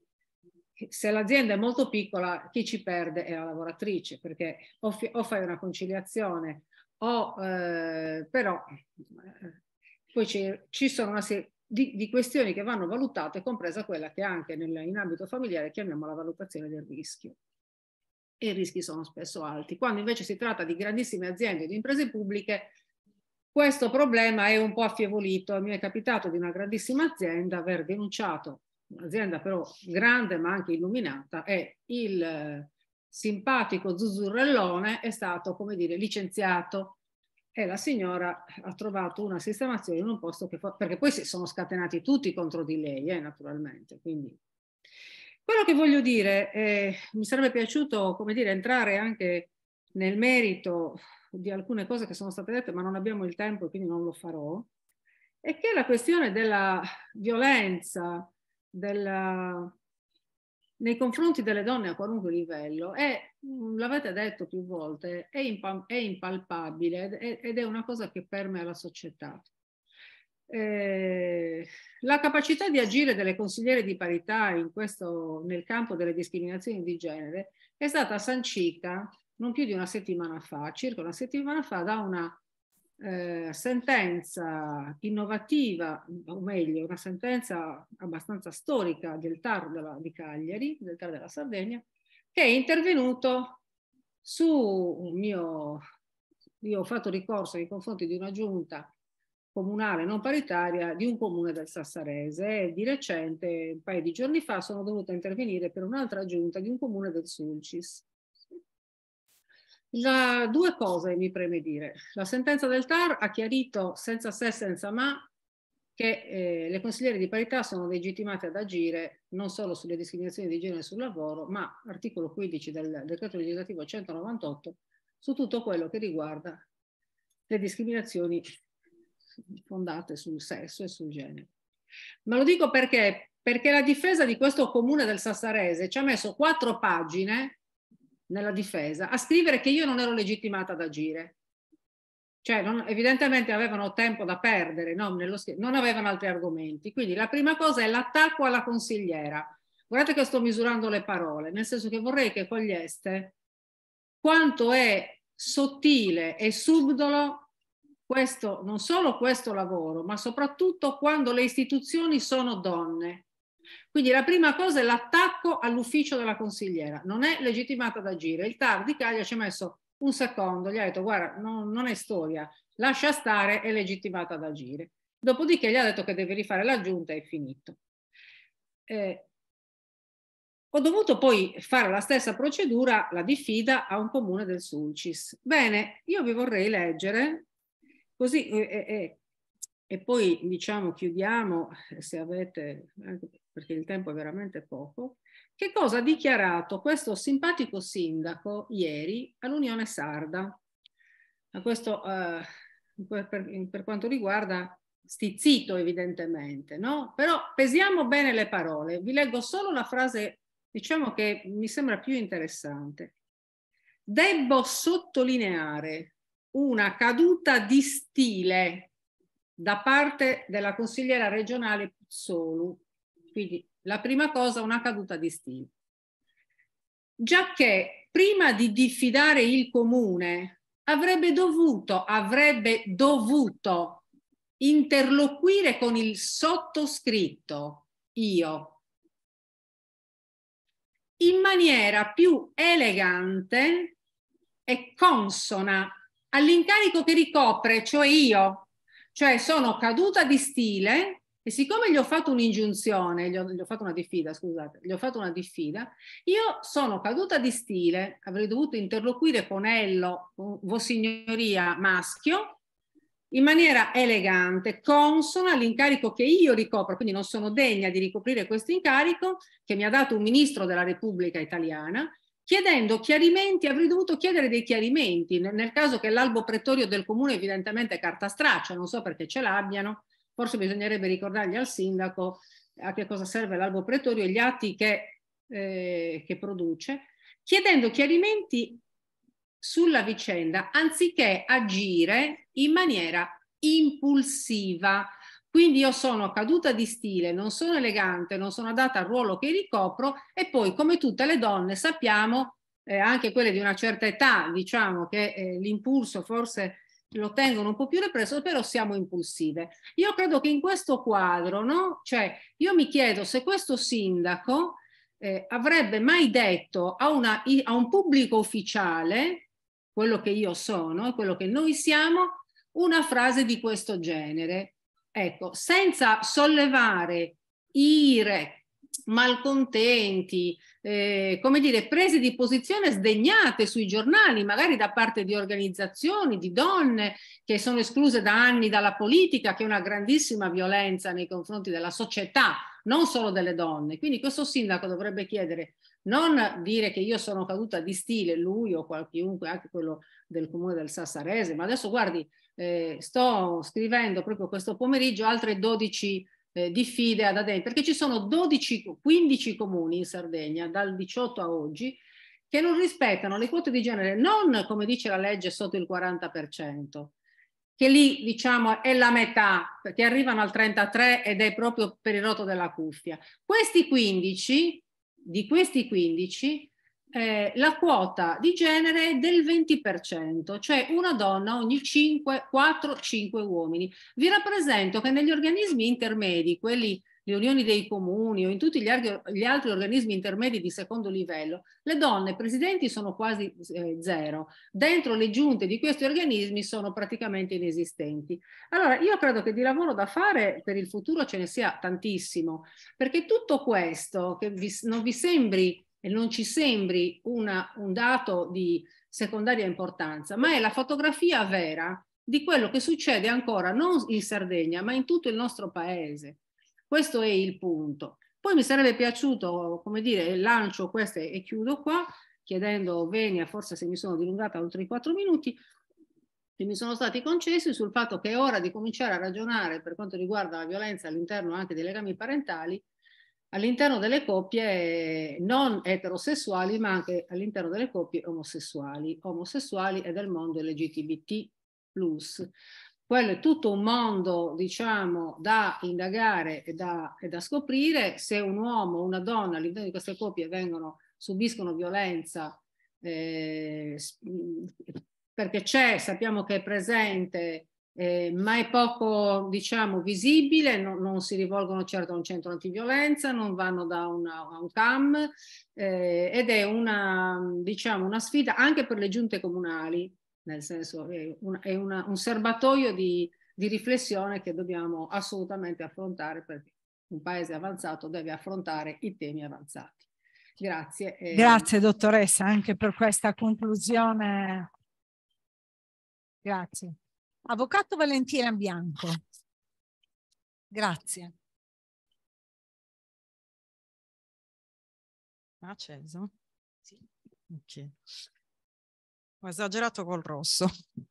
Buonasera a tutti, ringrazio la collega Bertoncelli per avermi coinvolta in questo incontro, utile a trattare un tema che eh, trovo meriti spazio e voce.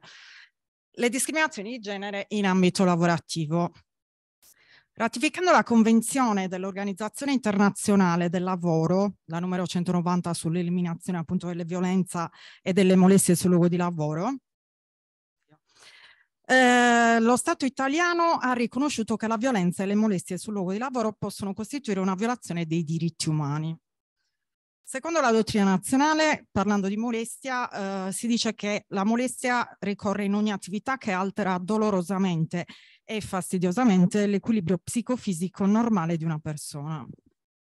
No, ho difficoltà. Eh, perché sento un eco. Fallo dal capo. eh, scusi, preferisci seduta? Eh, magari, perché non lo so, un po' di... No, no, no, no. Stai in piedi. Lo lascio io. Eh, si è fatta una certa. Allora, dicevo che ratificando appunto la conversione dell'Organizzazione Internazionale del Lavoro, la numero 190, quella che, la convenzione che è stata adottata appunto a Ginevra il 21 giugno del 2019, lo Stato italiano ha finalmente riconosciuto che la violenza e le molestie sul lavoro possono costituire violazione appunto dei diritti umani. Secondo la dottrina nazionale, ogni attività che alteri dolorosamente o fastidiosamente l'equilibrio psicofisico di una mm, persona si riconduce appunto al termine di molestie. Parliamo un attimo di normativa. Nel codice penale mh, mm, non è previsto allo Stato una fattispecie ad hoc per le molestie sessuali in ambito lavorativo.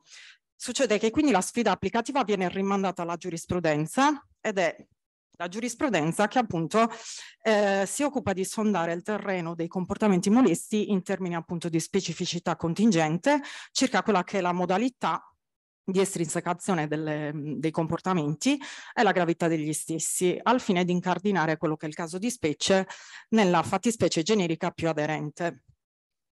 Nei casi di molestie più incisive, ovviamente, eh, ci riferiamo a esempi tipici come i toccamenti delle zone erogene, eh, si è ritenuto integrato quindi il reato di violenza sessuale ai sensi del 609 bis del codice penale, mentre davanti a condotte radicate in ossessivi corteggiamenti piuttosto che azioni comunque comportamenti persecutori reiterati, lo sfondo sessuale non rappresenta un elemento della, della condotta, ma mh, mm, rappresenta il motivo della condotta e quindi agevole ricondurre diciamo, le circostanze concrete al reato di stalking, 612 bis.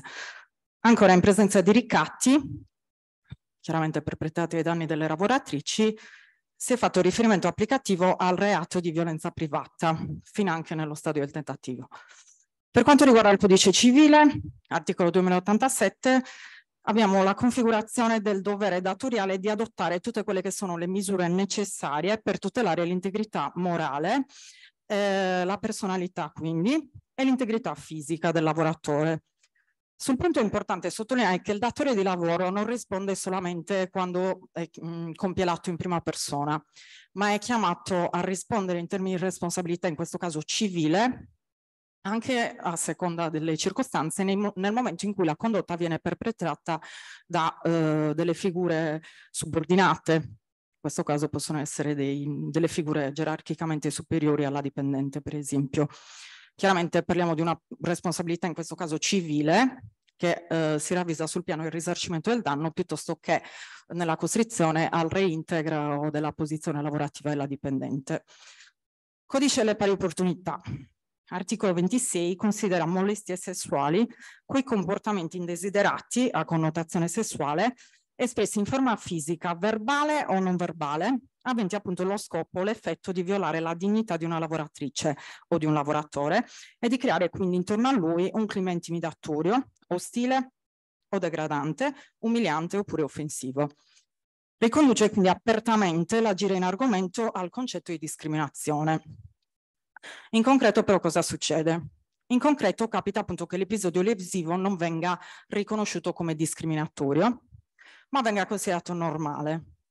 Questo capita perché normalizzare una situazione che di fatto normale non è, quindi una situazione anormale, dal punto di vista della vittima, io penso che sia una strategia presumibilmente adattiva, nel senso che succede interiormente perché in quel frangente si tendono a provare dei sentimenti che nell'immaginario collettivo purtroppo pagano uno sconto triviale, pagano lo sconto ehm, di essere associati, di restituire l'idea della debolezza invece che dell'umanità.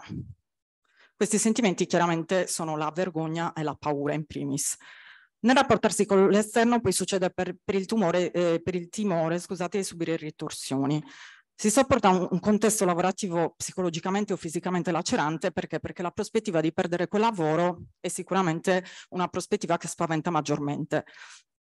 Cosa succede però? Succede che tollerare significa evadere la tassa dell'evoluzione, significa collaborare di fatto con quelle che sono le strutture discriminanti radicate nel nostro paese. Quindi penso che l'esternazione sia un passaggio obbligato al fine proprio di disinnescare questa prassi. Un soggetto terzo, innanzitutto, rispetto a quello che viene coinvolto in prima persona dalle dinamiche di cui parliamo, è in grado di assumere già notoriamente la distanza psicologica necessaria per vedere cosa realmente sta succedendo. Se poi quel soggetto terzo è un organo istituzionale, detiene anche gli strumenti idonei a tutelare la posizione compromessa. Quindi è fondamentale che emerga il coraggio della segnalazione. Per rafforzare questa tutela giurisdizionale, L'articolo 41 bis, che non a caso è rubricato vittimizzazione, parliamo sempre del codice delle pari opportunità, ha specificamente esteso l'applicazione della tutela di cui parliamo in relazione a tutte le ipotesi di reazioni datoriali che siano stative o ritorsive nei confronti di qualsivoglia attività che sia volta invece a far rispettare la parità di trattamento. Questo senza distinzione alcuna, tra i casi in cui l'azione è stata portata avanti in misura propulsiva dalla vittima stessa, oppure la vittima è stata in questo caso aiutata da figure di riferimento, soggetti terzi. È importante scandire a chiare lettere infatti che ehm, esistono delle figure di riferimento importanti in, in materia a ogni livello istituzionale le consigliere e i consiglieri di parità tutelano e sostengono le lavoratrici e i lavoratori che hanno a che fare appunto con una discriminazione in ambito lavorativo. Idealmente quindi noi rappresentiamo un referente importante per ambedue i sessi. Nel concreto ci stiamo rivela rivelando, inutile tacerlo, un contatto da tenere in necessaria considerazione per le donne, eh, a causa di notorie questioni che attengono appunto alla statistica. Stavo controllando il rapporto Istat del 2016 ho appuntato che sono 1.404.000 le donne che nel corso della loro vita lavorativa hanno subito molestie fisiche o ricatti sessuali sul posto di lavoro. Già questo dato rappresenta l'8,9% delle lavoratrici attuali o passate e ricordiamoci sempre che sono dati mistificati perché molti non hanno il coraggio di segnalare, esatto, ed è già aberrante la corrispondenza di questo dato, immaginiamoci che comunque per i problemi di cui parlavamo in termini di, di esternazione è un dato assolutamente farsato, purtroppo. Come consiglio di parità quindi possiamo rappresentare mh, un filtro in primis, un filtro determinante per aiutare gli utenti appunto a comprendere se sono o meno in presenza di una, di una discriminazione eh, dopodiché possiamo offrire una tutela specifica. Come diceva Tiziana, appunto noi siamo pubblici ufficiali, abbiamo quindi il dovere giuridico di segnalare. Allo stesso tempo, eh, nei casi di appurata lesione, quindi dopo il passaggio preliminare, che è quello del comprendere se effettivamente sussiste o meno la discriminazione, possiamo ehm, chiaramente intervenire avvalendoci strumenti quali le conciliazioni, i piani di rimozione delle discriminazioni in atto, fino anche il giudizio. Il giudizio chiaramente su delle, delle vittime in misura totalmente gratuita. Stasera quindi poi da ultimo ci tengo a ringraziare veramente tutti voi, innanzitutto perché io faccio l'avvocato, eh, il campo che mi interessa è più il diritto di famiglia, quindi ho ascoltato con un'attenzione particolare gli interventi che mi hanno preceduta.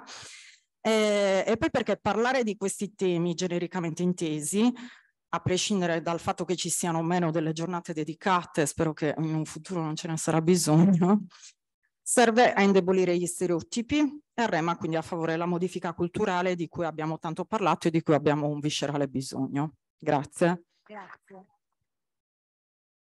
La dottoressa Francesca Ruggi.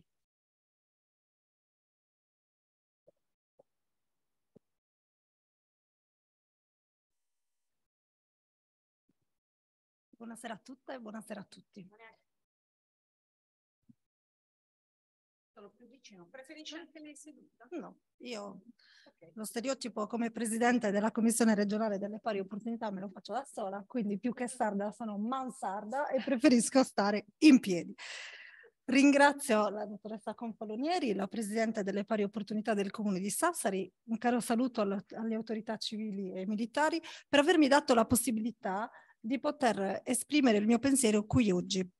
Al contrario della consigliera della parità regionale, vengo da Nuoro e ho deciso di affrontare questo viaggio, proprio perché venendo da Nuoro porto avanti la grinta e la tenacia dell'unico premio Nobel femmina in Italia, Grazia Deledda. Sono venuta con maggior piacere nella provincia di Sassari perché l'unica, la prima sindaca donna, Ninetta Bertoli, Borutta. Bartoli. Sono contenta di rappresentare la Regione Sardegna come Presidente delle Pari Opportunità perché l'unica donna ad avere un incarico come rettrice dell'Università di Sassari, Maria del Zombo. Nel mese della giornata internazionale contro la violenza sulle donne, ricordo come si è costituita questa, questa data del 25 novembre. Già nel lontano 1960 tramite sì, le sorelle Mirabal che praticamente si recavano in carcere per trovare i propri mariti furono brutalmente uccise. Nel 1981, il 25 novembre, avvenne il primo incontro internazionale femminista delle donne latinoamericane e caraibiche e da quel momento, il 25 novembre, è stato riconosciuto come data simbolo. I colori rappresentanti sono sostanzialmente due, a livello nazionale il rosso, a livello internazionale l'arancione.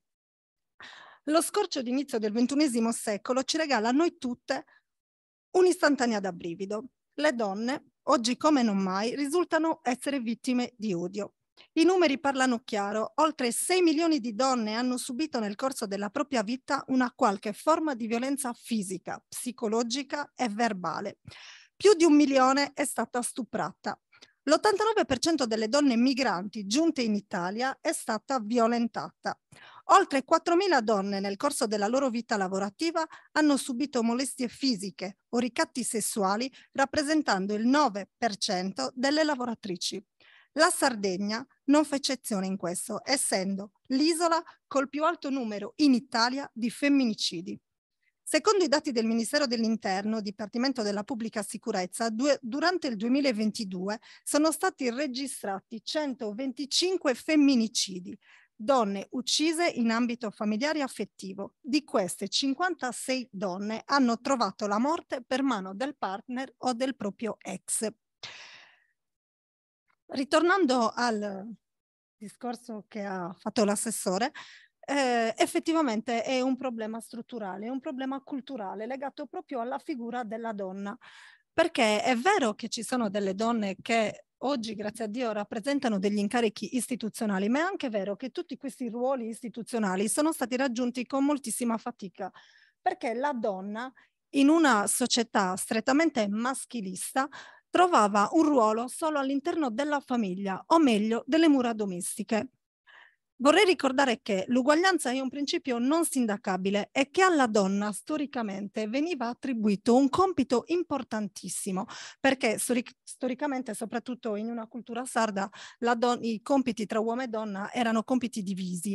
Alla donna aveva il compito del trasmettere il valore morale, cioè l'educazione dei figli. Storicamente, se voi andate a notare, anche lo spazio tra uomo e donna era diverso. L'uomo aveva spazi aperti, l'ovile, il bar, la piazza, la donna aveva spazi chiusi, la casa, la chiesa. Effettivamente è stato fatto molto, però molto si deve ancora fare. Diciamo che il mainstreaming è ancora una cornice da riempire.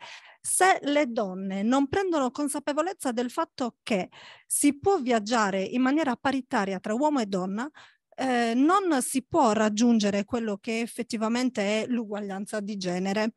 Eh, è diversa anche la discriminazione, la, la disparità economica, perché è vero che a parità si possono raggiungere gli stessi incarichi, ma retributivamente non è la stessa cosa. Le donne sono meno retribuite. In più, ancora nel 2022 eh, la donna deve decidere se rinunciare al lavoro ed occuparsi della famiglia. Io penso che il problema legato alla violenza di genere sia soprattutto questo. Perciò il mio messaggio come presidente della Commissione regionale delle pari opportunità, che sostanzialmente ha un compito consultivo e di monitoraggio, sia proprio questo. Eh, bisogna insegnare alle ragazze e ai ragazzi, partendo dalle scuole, un linguaggio gentile prima di tutto. Quindi cerchiamo di abbattere quelli che sono gli stereotipi, il linguaggio d'odio e il body shaming.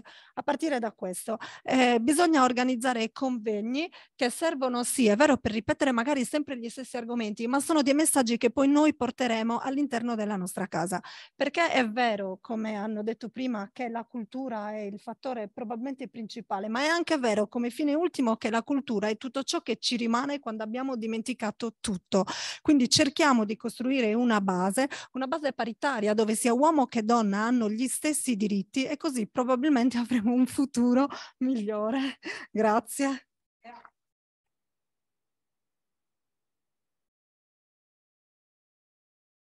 La dottoressa Carmen Fraietta.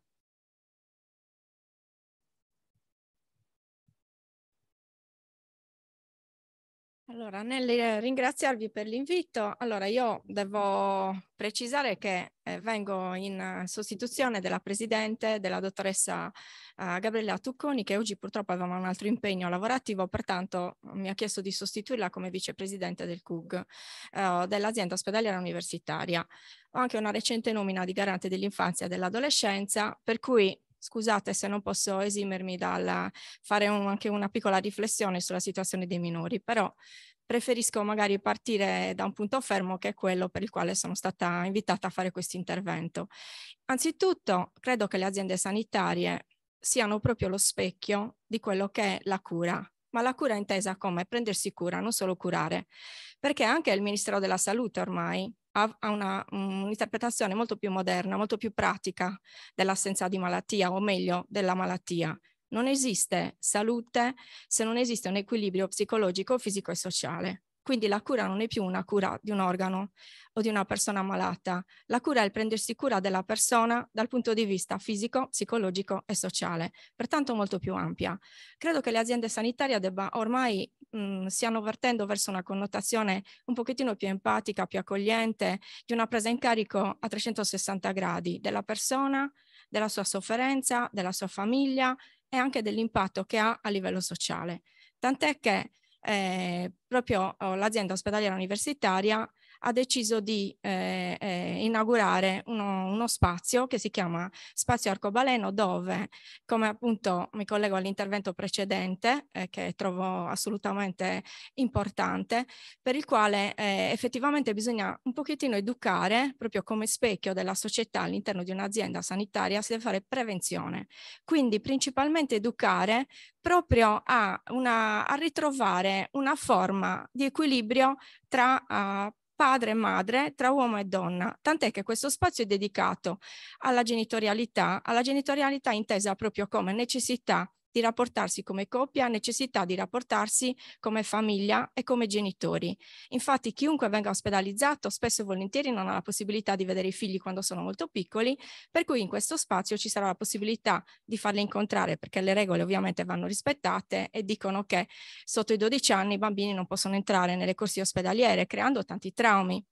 Però volendo tornare proprio a un aspetto paritario fondamentale in, per, per una prevenzione, si è data anche importanza a quello che è il papà che lavora, che magari fa il medico, fa l'infermiere, che fa i turni 20, eh, nel, nell'arco delle 24 ore, che magari fa le guardie di 12 ore, che ha un bambino che comunque è a lui affezionato, che sia separato, che sia felicemente sposato, non ha importanza, deve avere comunque la possibilità di poterlo incontrare, anche se fosse solo per condividere un momento, se fosse solo per fargli capire che ci teneva a vederlo e incontrarlo. Quindi ha la possibilità di staccarsi e di usufruire di questo spazio, che è stato di inaugurazione recente che già sta funzionando, anche per tutti coloro i quali vengono a trovare delle persone che comunque sono ospedalizzate con dei bambini molto piccoli, quindi hanno necessità effettivamente di avere un punto di incontro. Però eh, per quanto riguarda la violenza di genere, io non posso fare a meno di pensare che ha una correlazione anche con la violenza assistita, che incide in maniera terrificante sulla psiche delle, degli infanti, dei bambini in età evolutiva, in adolescenza, anche in preadolescenza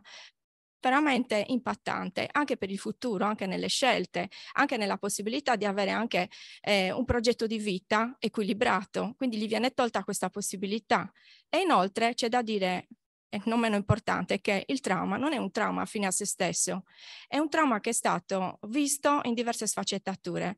L'epigenetica ci dice, con tutte le ultime ricerche, assolutamente che il trauma si può trasmettere anche di generazione in generazione.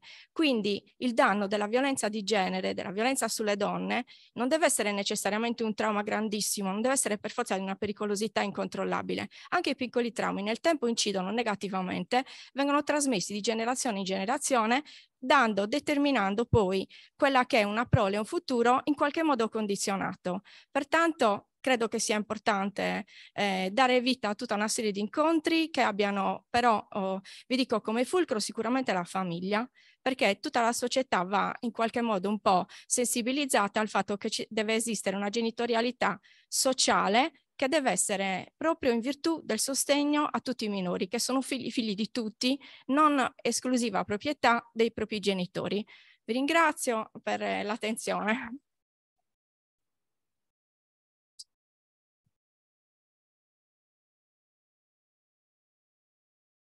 La professoressa Graziella Benedetto. Eccola. Allora. Buonasera a tutti. Ringrazio l'avvocato Bertoncelli per avermi invitato a questo incontro. è abbastanza mm, coinvolgente, diciamo, perché tutte le volte che si ascoltano questi discorsi non si può rimanere, ehm, ehm, come si può dire, indifferenti. Ecco, io non ho trovato la spillina, quindi tengo in mano il nastrino rosso.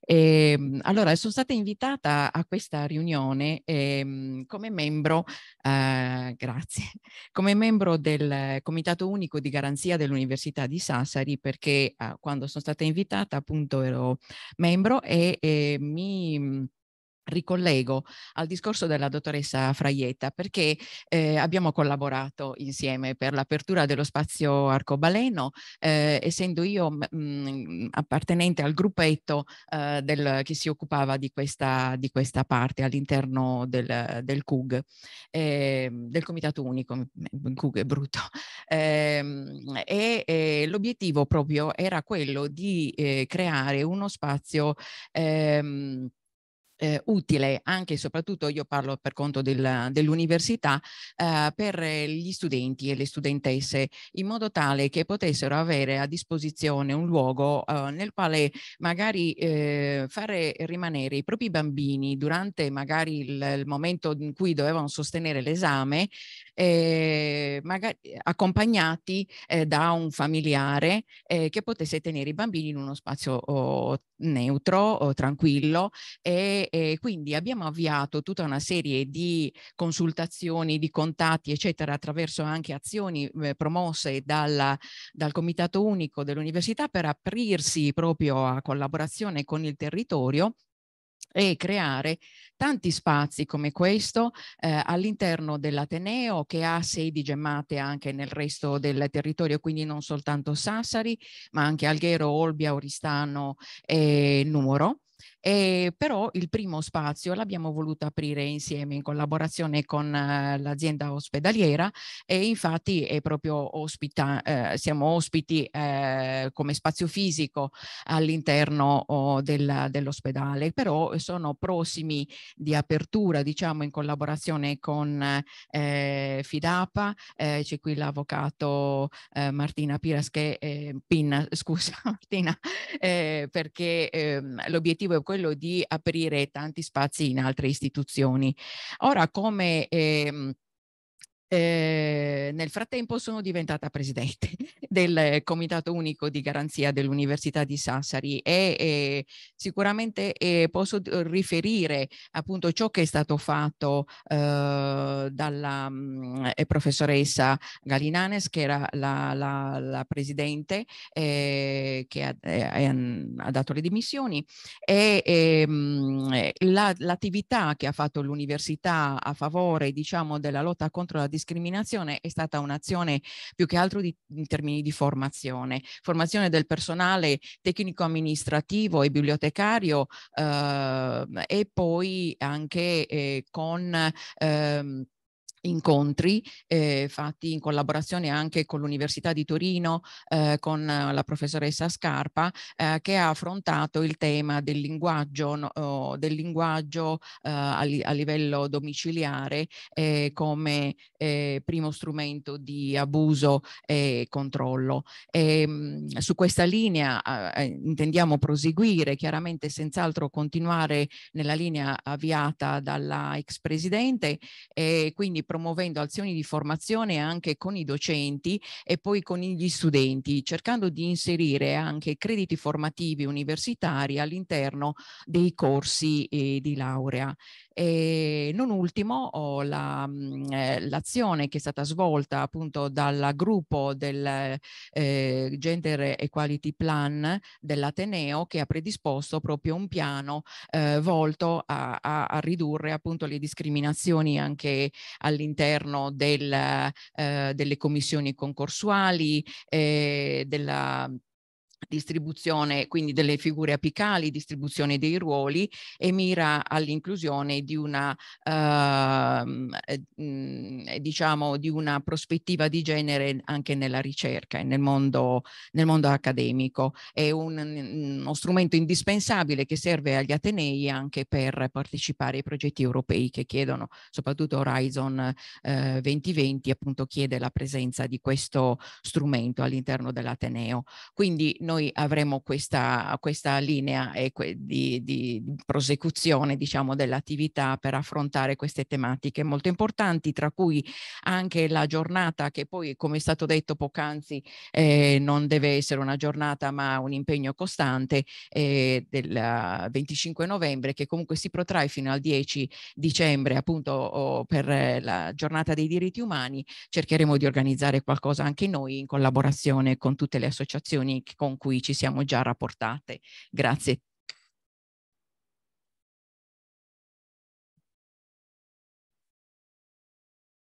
Grazie. Eh, eh, per la conclusione, il Comitato Pari Opportunità dell'Ordine degli Avvocati di Sassari, ecco perché la collega Soro ha detto che ha avuto l'ultimo momento, quindi grazie.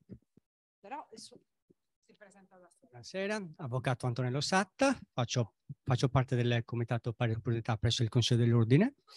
Mi limiterò ai saluti eh, da parte de, del Comitato in sostituzione dell'avvocato e presidente Anna Soro. Eh, faccio due brevissime considerazioni perché a casa ho una moglie violenta per cui è già tardi. Eh, una considerazione prima di tutto, mi è capitato di eh, partecipare a dei convegni dove si parlava della violenza mh, sulle donne dove c'erano sei relatori, tutti quanti maschi. Stasera, grazie a Dio, non solo in, diciamo, dal punto di vista qualitativo, ma anche dal punto di vista numerico, le donne sono ben rappresentate. Da un altro punto di vista è una serata con occhiali eh, scuri, ovviamente, come il, il tema ovviamente eh, ci fa capire. Da un lato sogno un, diciamo, un periodo, un tempo un prossimo in cui il persecutore sia lui che va fuori di casa e non la donna con i figli ad andare fuori nelle case protette, ma dovrebbe essere l'inverso. Ma questo è un sogno. Per quanto invece, diciamo, dal punto di vista dei de, diciamo, de, de, chiari, la dottoressa Caso è, è un, caro, un, chiaro esempio di come si siano fatti dei passi in avanti, perché sino a qualche anno fa, io, testimone oculare, andavano a casa dei, diciamo, dei maltrattanti, dei poliziotti che probabilmente dovevano andare in terapia loro invece che, che i mariti maltrattanti. Grazie a Dio adesso ci sono delle specializzazioni all'interno delle forze dell'ordine che fanno sì che siano in grado di capire da subito qual è il problema. Certo è che anche se dei passi avanti si sono fatti, occorrono degli istituti ancora, eh, diciamo, più forti, occorrono soprattutto dei, diciamo, dei finanziamenti eh, molto più sostanziosi perché il codice rosso è un piccolo passo ma ancora non funziona. Vi ringrazio eh, e saluto tutti quanti.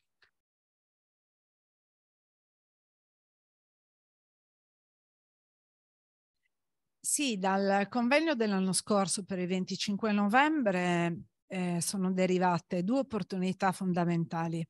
La prima è che abbiamo saputo che il rettore mette a disposizione questa sala, questa culla del diritto gratuitamente a condizione che venga rispettata la parità di genere. Quindi questa è l'unica condizione per accedere a questa sala. La seconda considerazione è che eh, eh, mh, quell'appuntamento dell'anno scorso eh, dove erano stati invitati soltanto gli uomini, in prima battuta è stato annullato. E quello che ci dispiace è che quegli uomini che erano stati invitati sono stati invitati ad essere presenti anche stasera, a far parte delle voci presenti.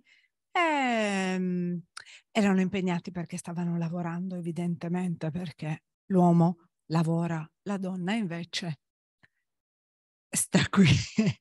Quindi, eh, poiché abbiamo detto che questo è un incontro dedicato a noi, dove ognuno di noi è una voce da portare all'esterno con un messaggio all'esterno, chiedo a voi, anche se eh, oramai siamo in chiusura, ma ci hanno promesso che prima delle sette e mezza non ci cacceranno da quest'aula perché c'è chi ci consente di stare, se mi rivolgo ovviamente intanto da questa parte se volete prendere la parola per un messaggio conclusivo o comunque chiunque abbia piacere di eh, farci sentire la propria voce. Grazie.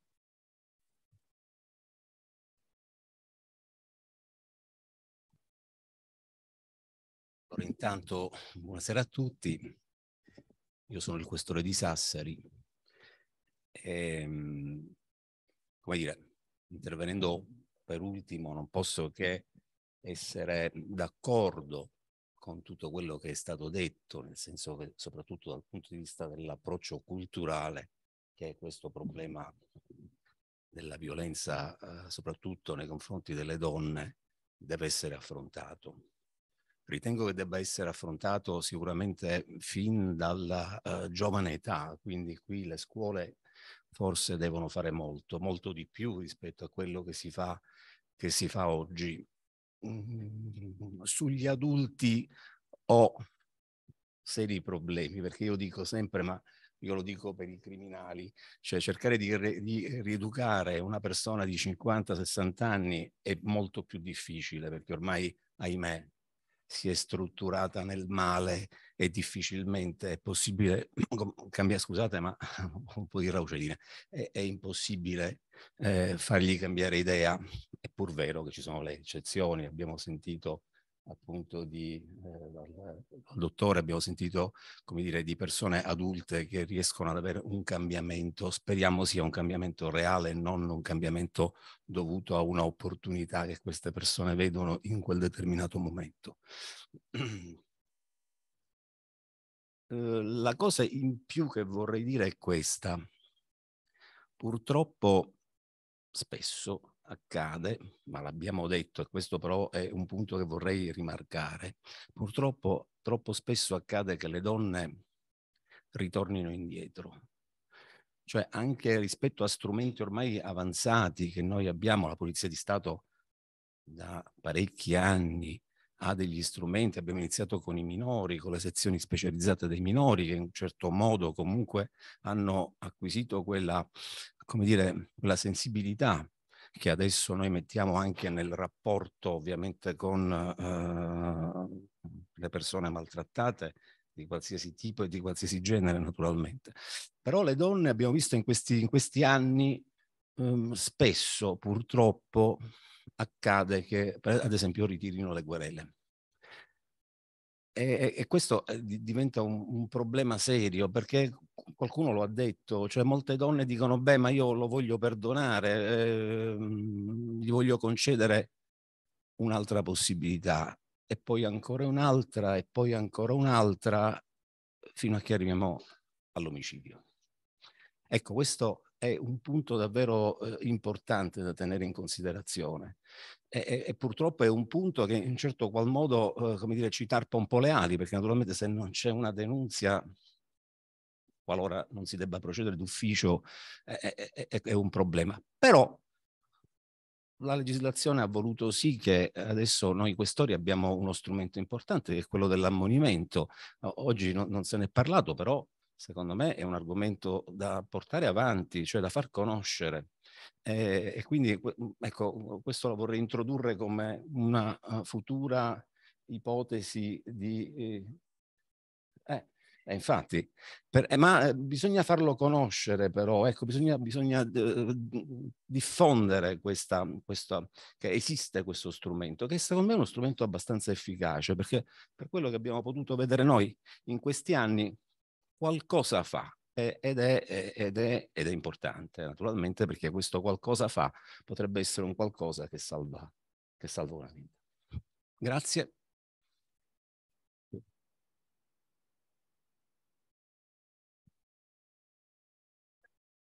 Grazie. Sì? No? Sì? Grazie.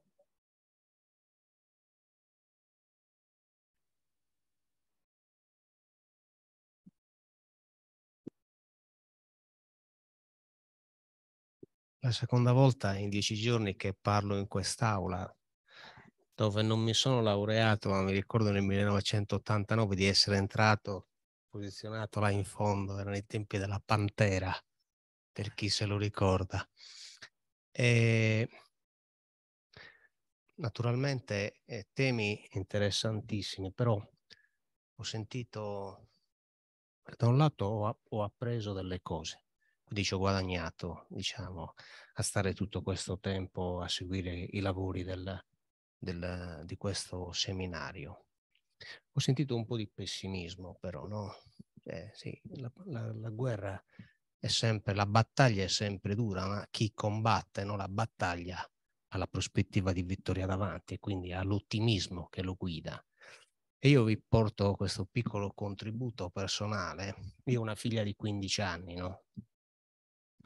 Ha vissuto prima a Cagliari, poi a Roma, adesso a Sassari. Quindi io, che sono sempre molto, come dire, possessivo come padre, conosco e cerco di conoscere i compagnetti, le compagnette, quindi ogni tanto li intervisto, li sento, anzi diciamo più di ogni tanto, ho una certa dimistichezza. E eh, hanno un approccio nella relazione personale fra di loro, ragazzi di 15 anni, che è completamente diverso dalla uh, modalità di relazionarsi che avevo io, per esempio, alla stessa età, migliore. E quindi come dire, questo mi fa pensare positivamente al futuro rispetto a quello che abbiamo detto, no? un uh, cambiamento culturale nelle relazioni eh, tra i sessi, tra i generi. Questo era il pensiero che volevo condividere con voi e, e ringraziarvi e ringraziare i relatori naturalmente per il contributo di pensiero che eh, ci hanno offerto stasera.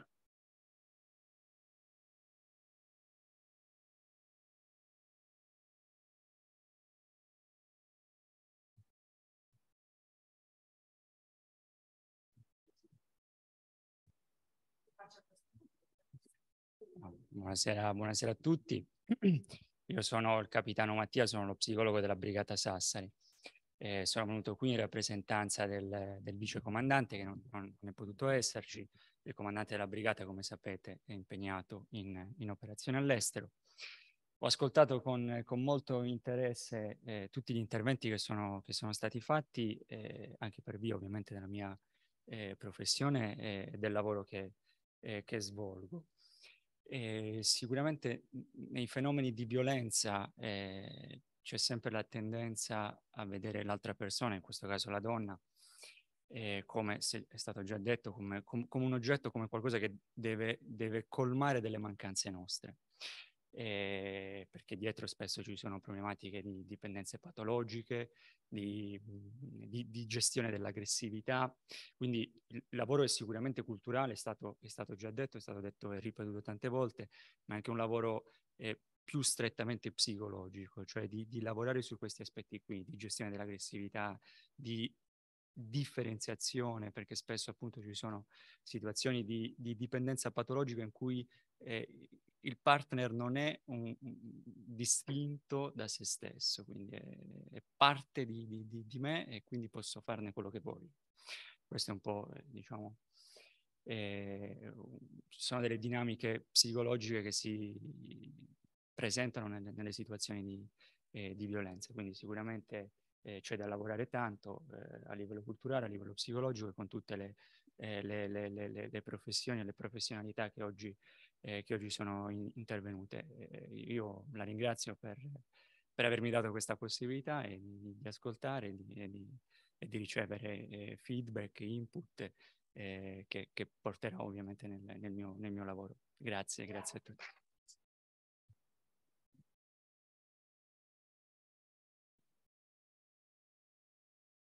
No, no, da qui. Da qui o anche seduta. Conseguenza di ciò che ho sentito e di ciò che vedo. Prego. Vedo pochissima gente. Eh, ce n'era poca rispetto a quanto io aspettassi già dall'inizio, ma non perché questa conferenza non fosse degna eh, di una, del pieno completo, della, anche di più nella sala. E il problema è appunto, riprendendo il discorso fino adesso condotto da un po' da tutti, è un problema culturale, cioè non gliene importa niente quasi a nessuno. Muore una donna ogni tre giorni, subiscono eh, fastidi, molestie sul lavoro tutti i giorni, ma non gliene importa niente a nessuno. Quindi il, la mia proposta qual è, se può essere interessante, è appunto la scuola e quindi insegnare il rispetto fra le persone, ma non con conferenze, incontri, lezioncine, proprio come materia di studio e di analisi, eh, che così come la storia, come la geografia, ogni settimana avesse proprio, i ragazzi avessero un'ora a disposizione. Anche perché eh, nelle famiglie molto spesso la, la cultura manca e lo vediamo che siamo pochissimi, ci stiamo parlando fra di noi che siamo già ultra sensibili a questo problema.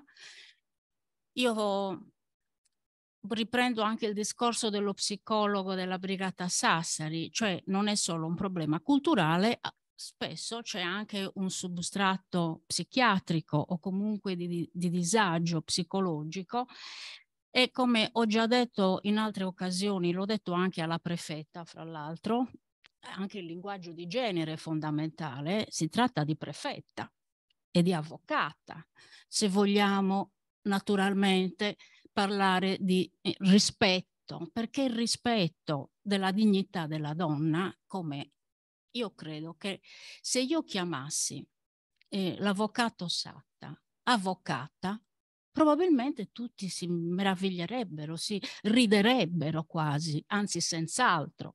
Mentre invece se io sono avvocato e vengo chiamata avvocato, è giusto. Non è così. Io sono un'avvocata, non un avvocato. E quindi anche l'educazione a parlare l'italiano in definitiva, a usare gli aggettivi e i sostantivi declinati in italiano, quella è cultura. Ci manca. Siamo un'elite a portare avanti questi concetti. E riprendendo quel discorso dello psicologo, io sono un medico, una medica, una dottora, non lo so, una ginecologa in particolare. Però eh, quello che io ho detto appunto alla prefetta, ho detto anche al presidente dell'ordine dei medici che purtroppo è dovuto andare via, probabilmente sarebbe interessante avere negli ambulatori di medicina di base una figura di sostegno come uno psicologo, uno psichiatra, una psichiatra, una psicologa in tutti gli ambulatori dei medici di base che hanno un'utenza di 1800 persone, 1500 persone. Fra tutte queste persone, quante sono quelle donne che non riescono ad avere il coraggio di andare da chi di dovere, di andare da, da, da in questura, di andare da, dall'avvocato, perché non hanno neanche la cultura appunto per far questo.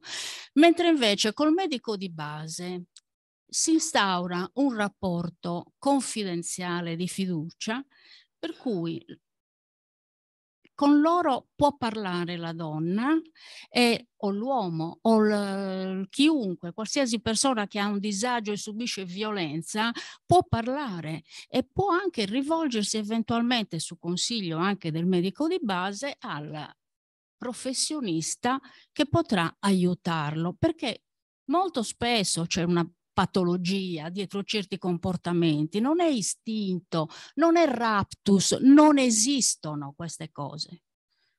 Esiste la persona sana, colta oppure malata e ignorante. Dobbiamo allora aiutare queste persone. Io sono abbastanza pessimista a differenza della persona che mi ha preceduto, perché questo vuoto è il segno dell'indifferenza e basta. Scusate, scusate se mi ripresento. Sposo in pieno il problema della, del linguaggio di genere al 100%. Purtroppo mi preme dire che è, una lotta che io tutti i giorni faccio non con zia Furica, con tutto il rispetto zia Furica, ma con i miei colleghi. Per cui ci sono colleghe che si sentono offese perché io le chiamo avvocata. Ok? Poi c'è un dato che stamattina, mentre mi preparavo diciamo, a, questo, a questo convegno per leggere così due cose al volo, un dato che mi ha impressionato, mi ha fatto venire la pelle d'occa. In Italia il 30% delle donne, il 30, scusate, il 37% delle donne non ha un conto corrente intestato. Per me è un dato allucinante. Italia 2022. Forse in Burundi i dati sono più favorevoli. Grazie.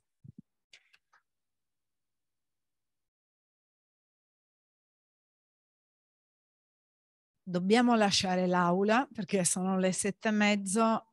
La Presidente la chiusura. Allora ringrazio tutti i, pre i presenti, coloro che ci stanno seguendo in via streaming e naturalmente le autorità militari che sino all'ora tarda sono qui con noi a seguire il, il convegno e tutti i presenti.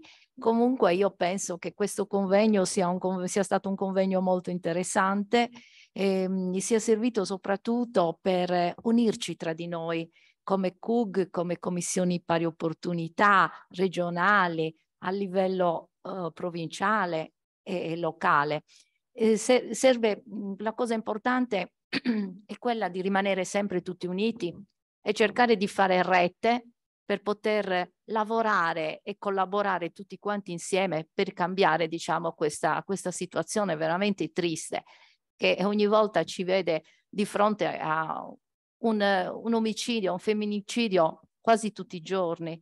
Quindi eh, cerchiamo di lavorare tutti, tutti insieme. Noi anche come commissione a livello comunale, eh, diciamo, stiamo lavorando e abbiamo lavorato soprattutto nelle scuole, nelle scuole elementari, insegnando loro, fin da bambini, il rispetto del, del, del, del, diciamo, del simile, della persona simile, l'articolo 3 della Costituzione in particolare sulle parità. Abbiamo portato questo messaggio ai bambini e devo dire che i bambini hanno percepito questo messaggio, l'abbiamo portato proprio direttamente, non nelle aule grandi, in grandi sale, l'abbiamo parlato direttamente con loro e spero che questo sia stato un seme che possa germogliare prima o poi. Vi saluto, vi ringrazio tutti e buona serata. Alla prossima occasione. Grazie.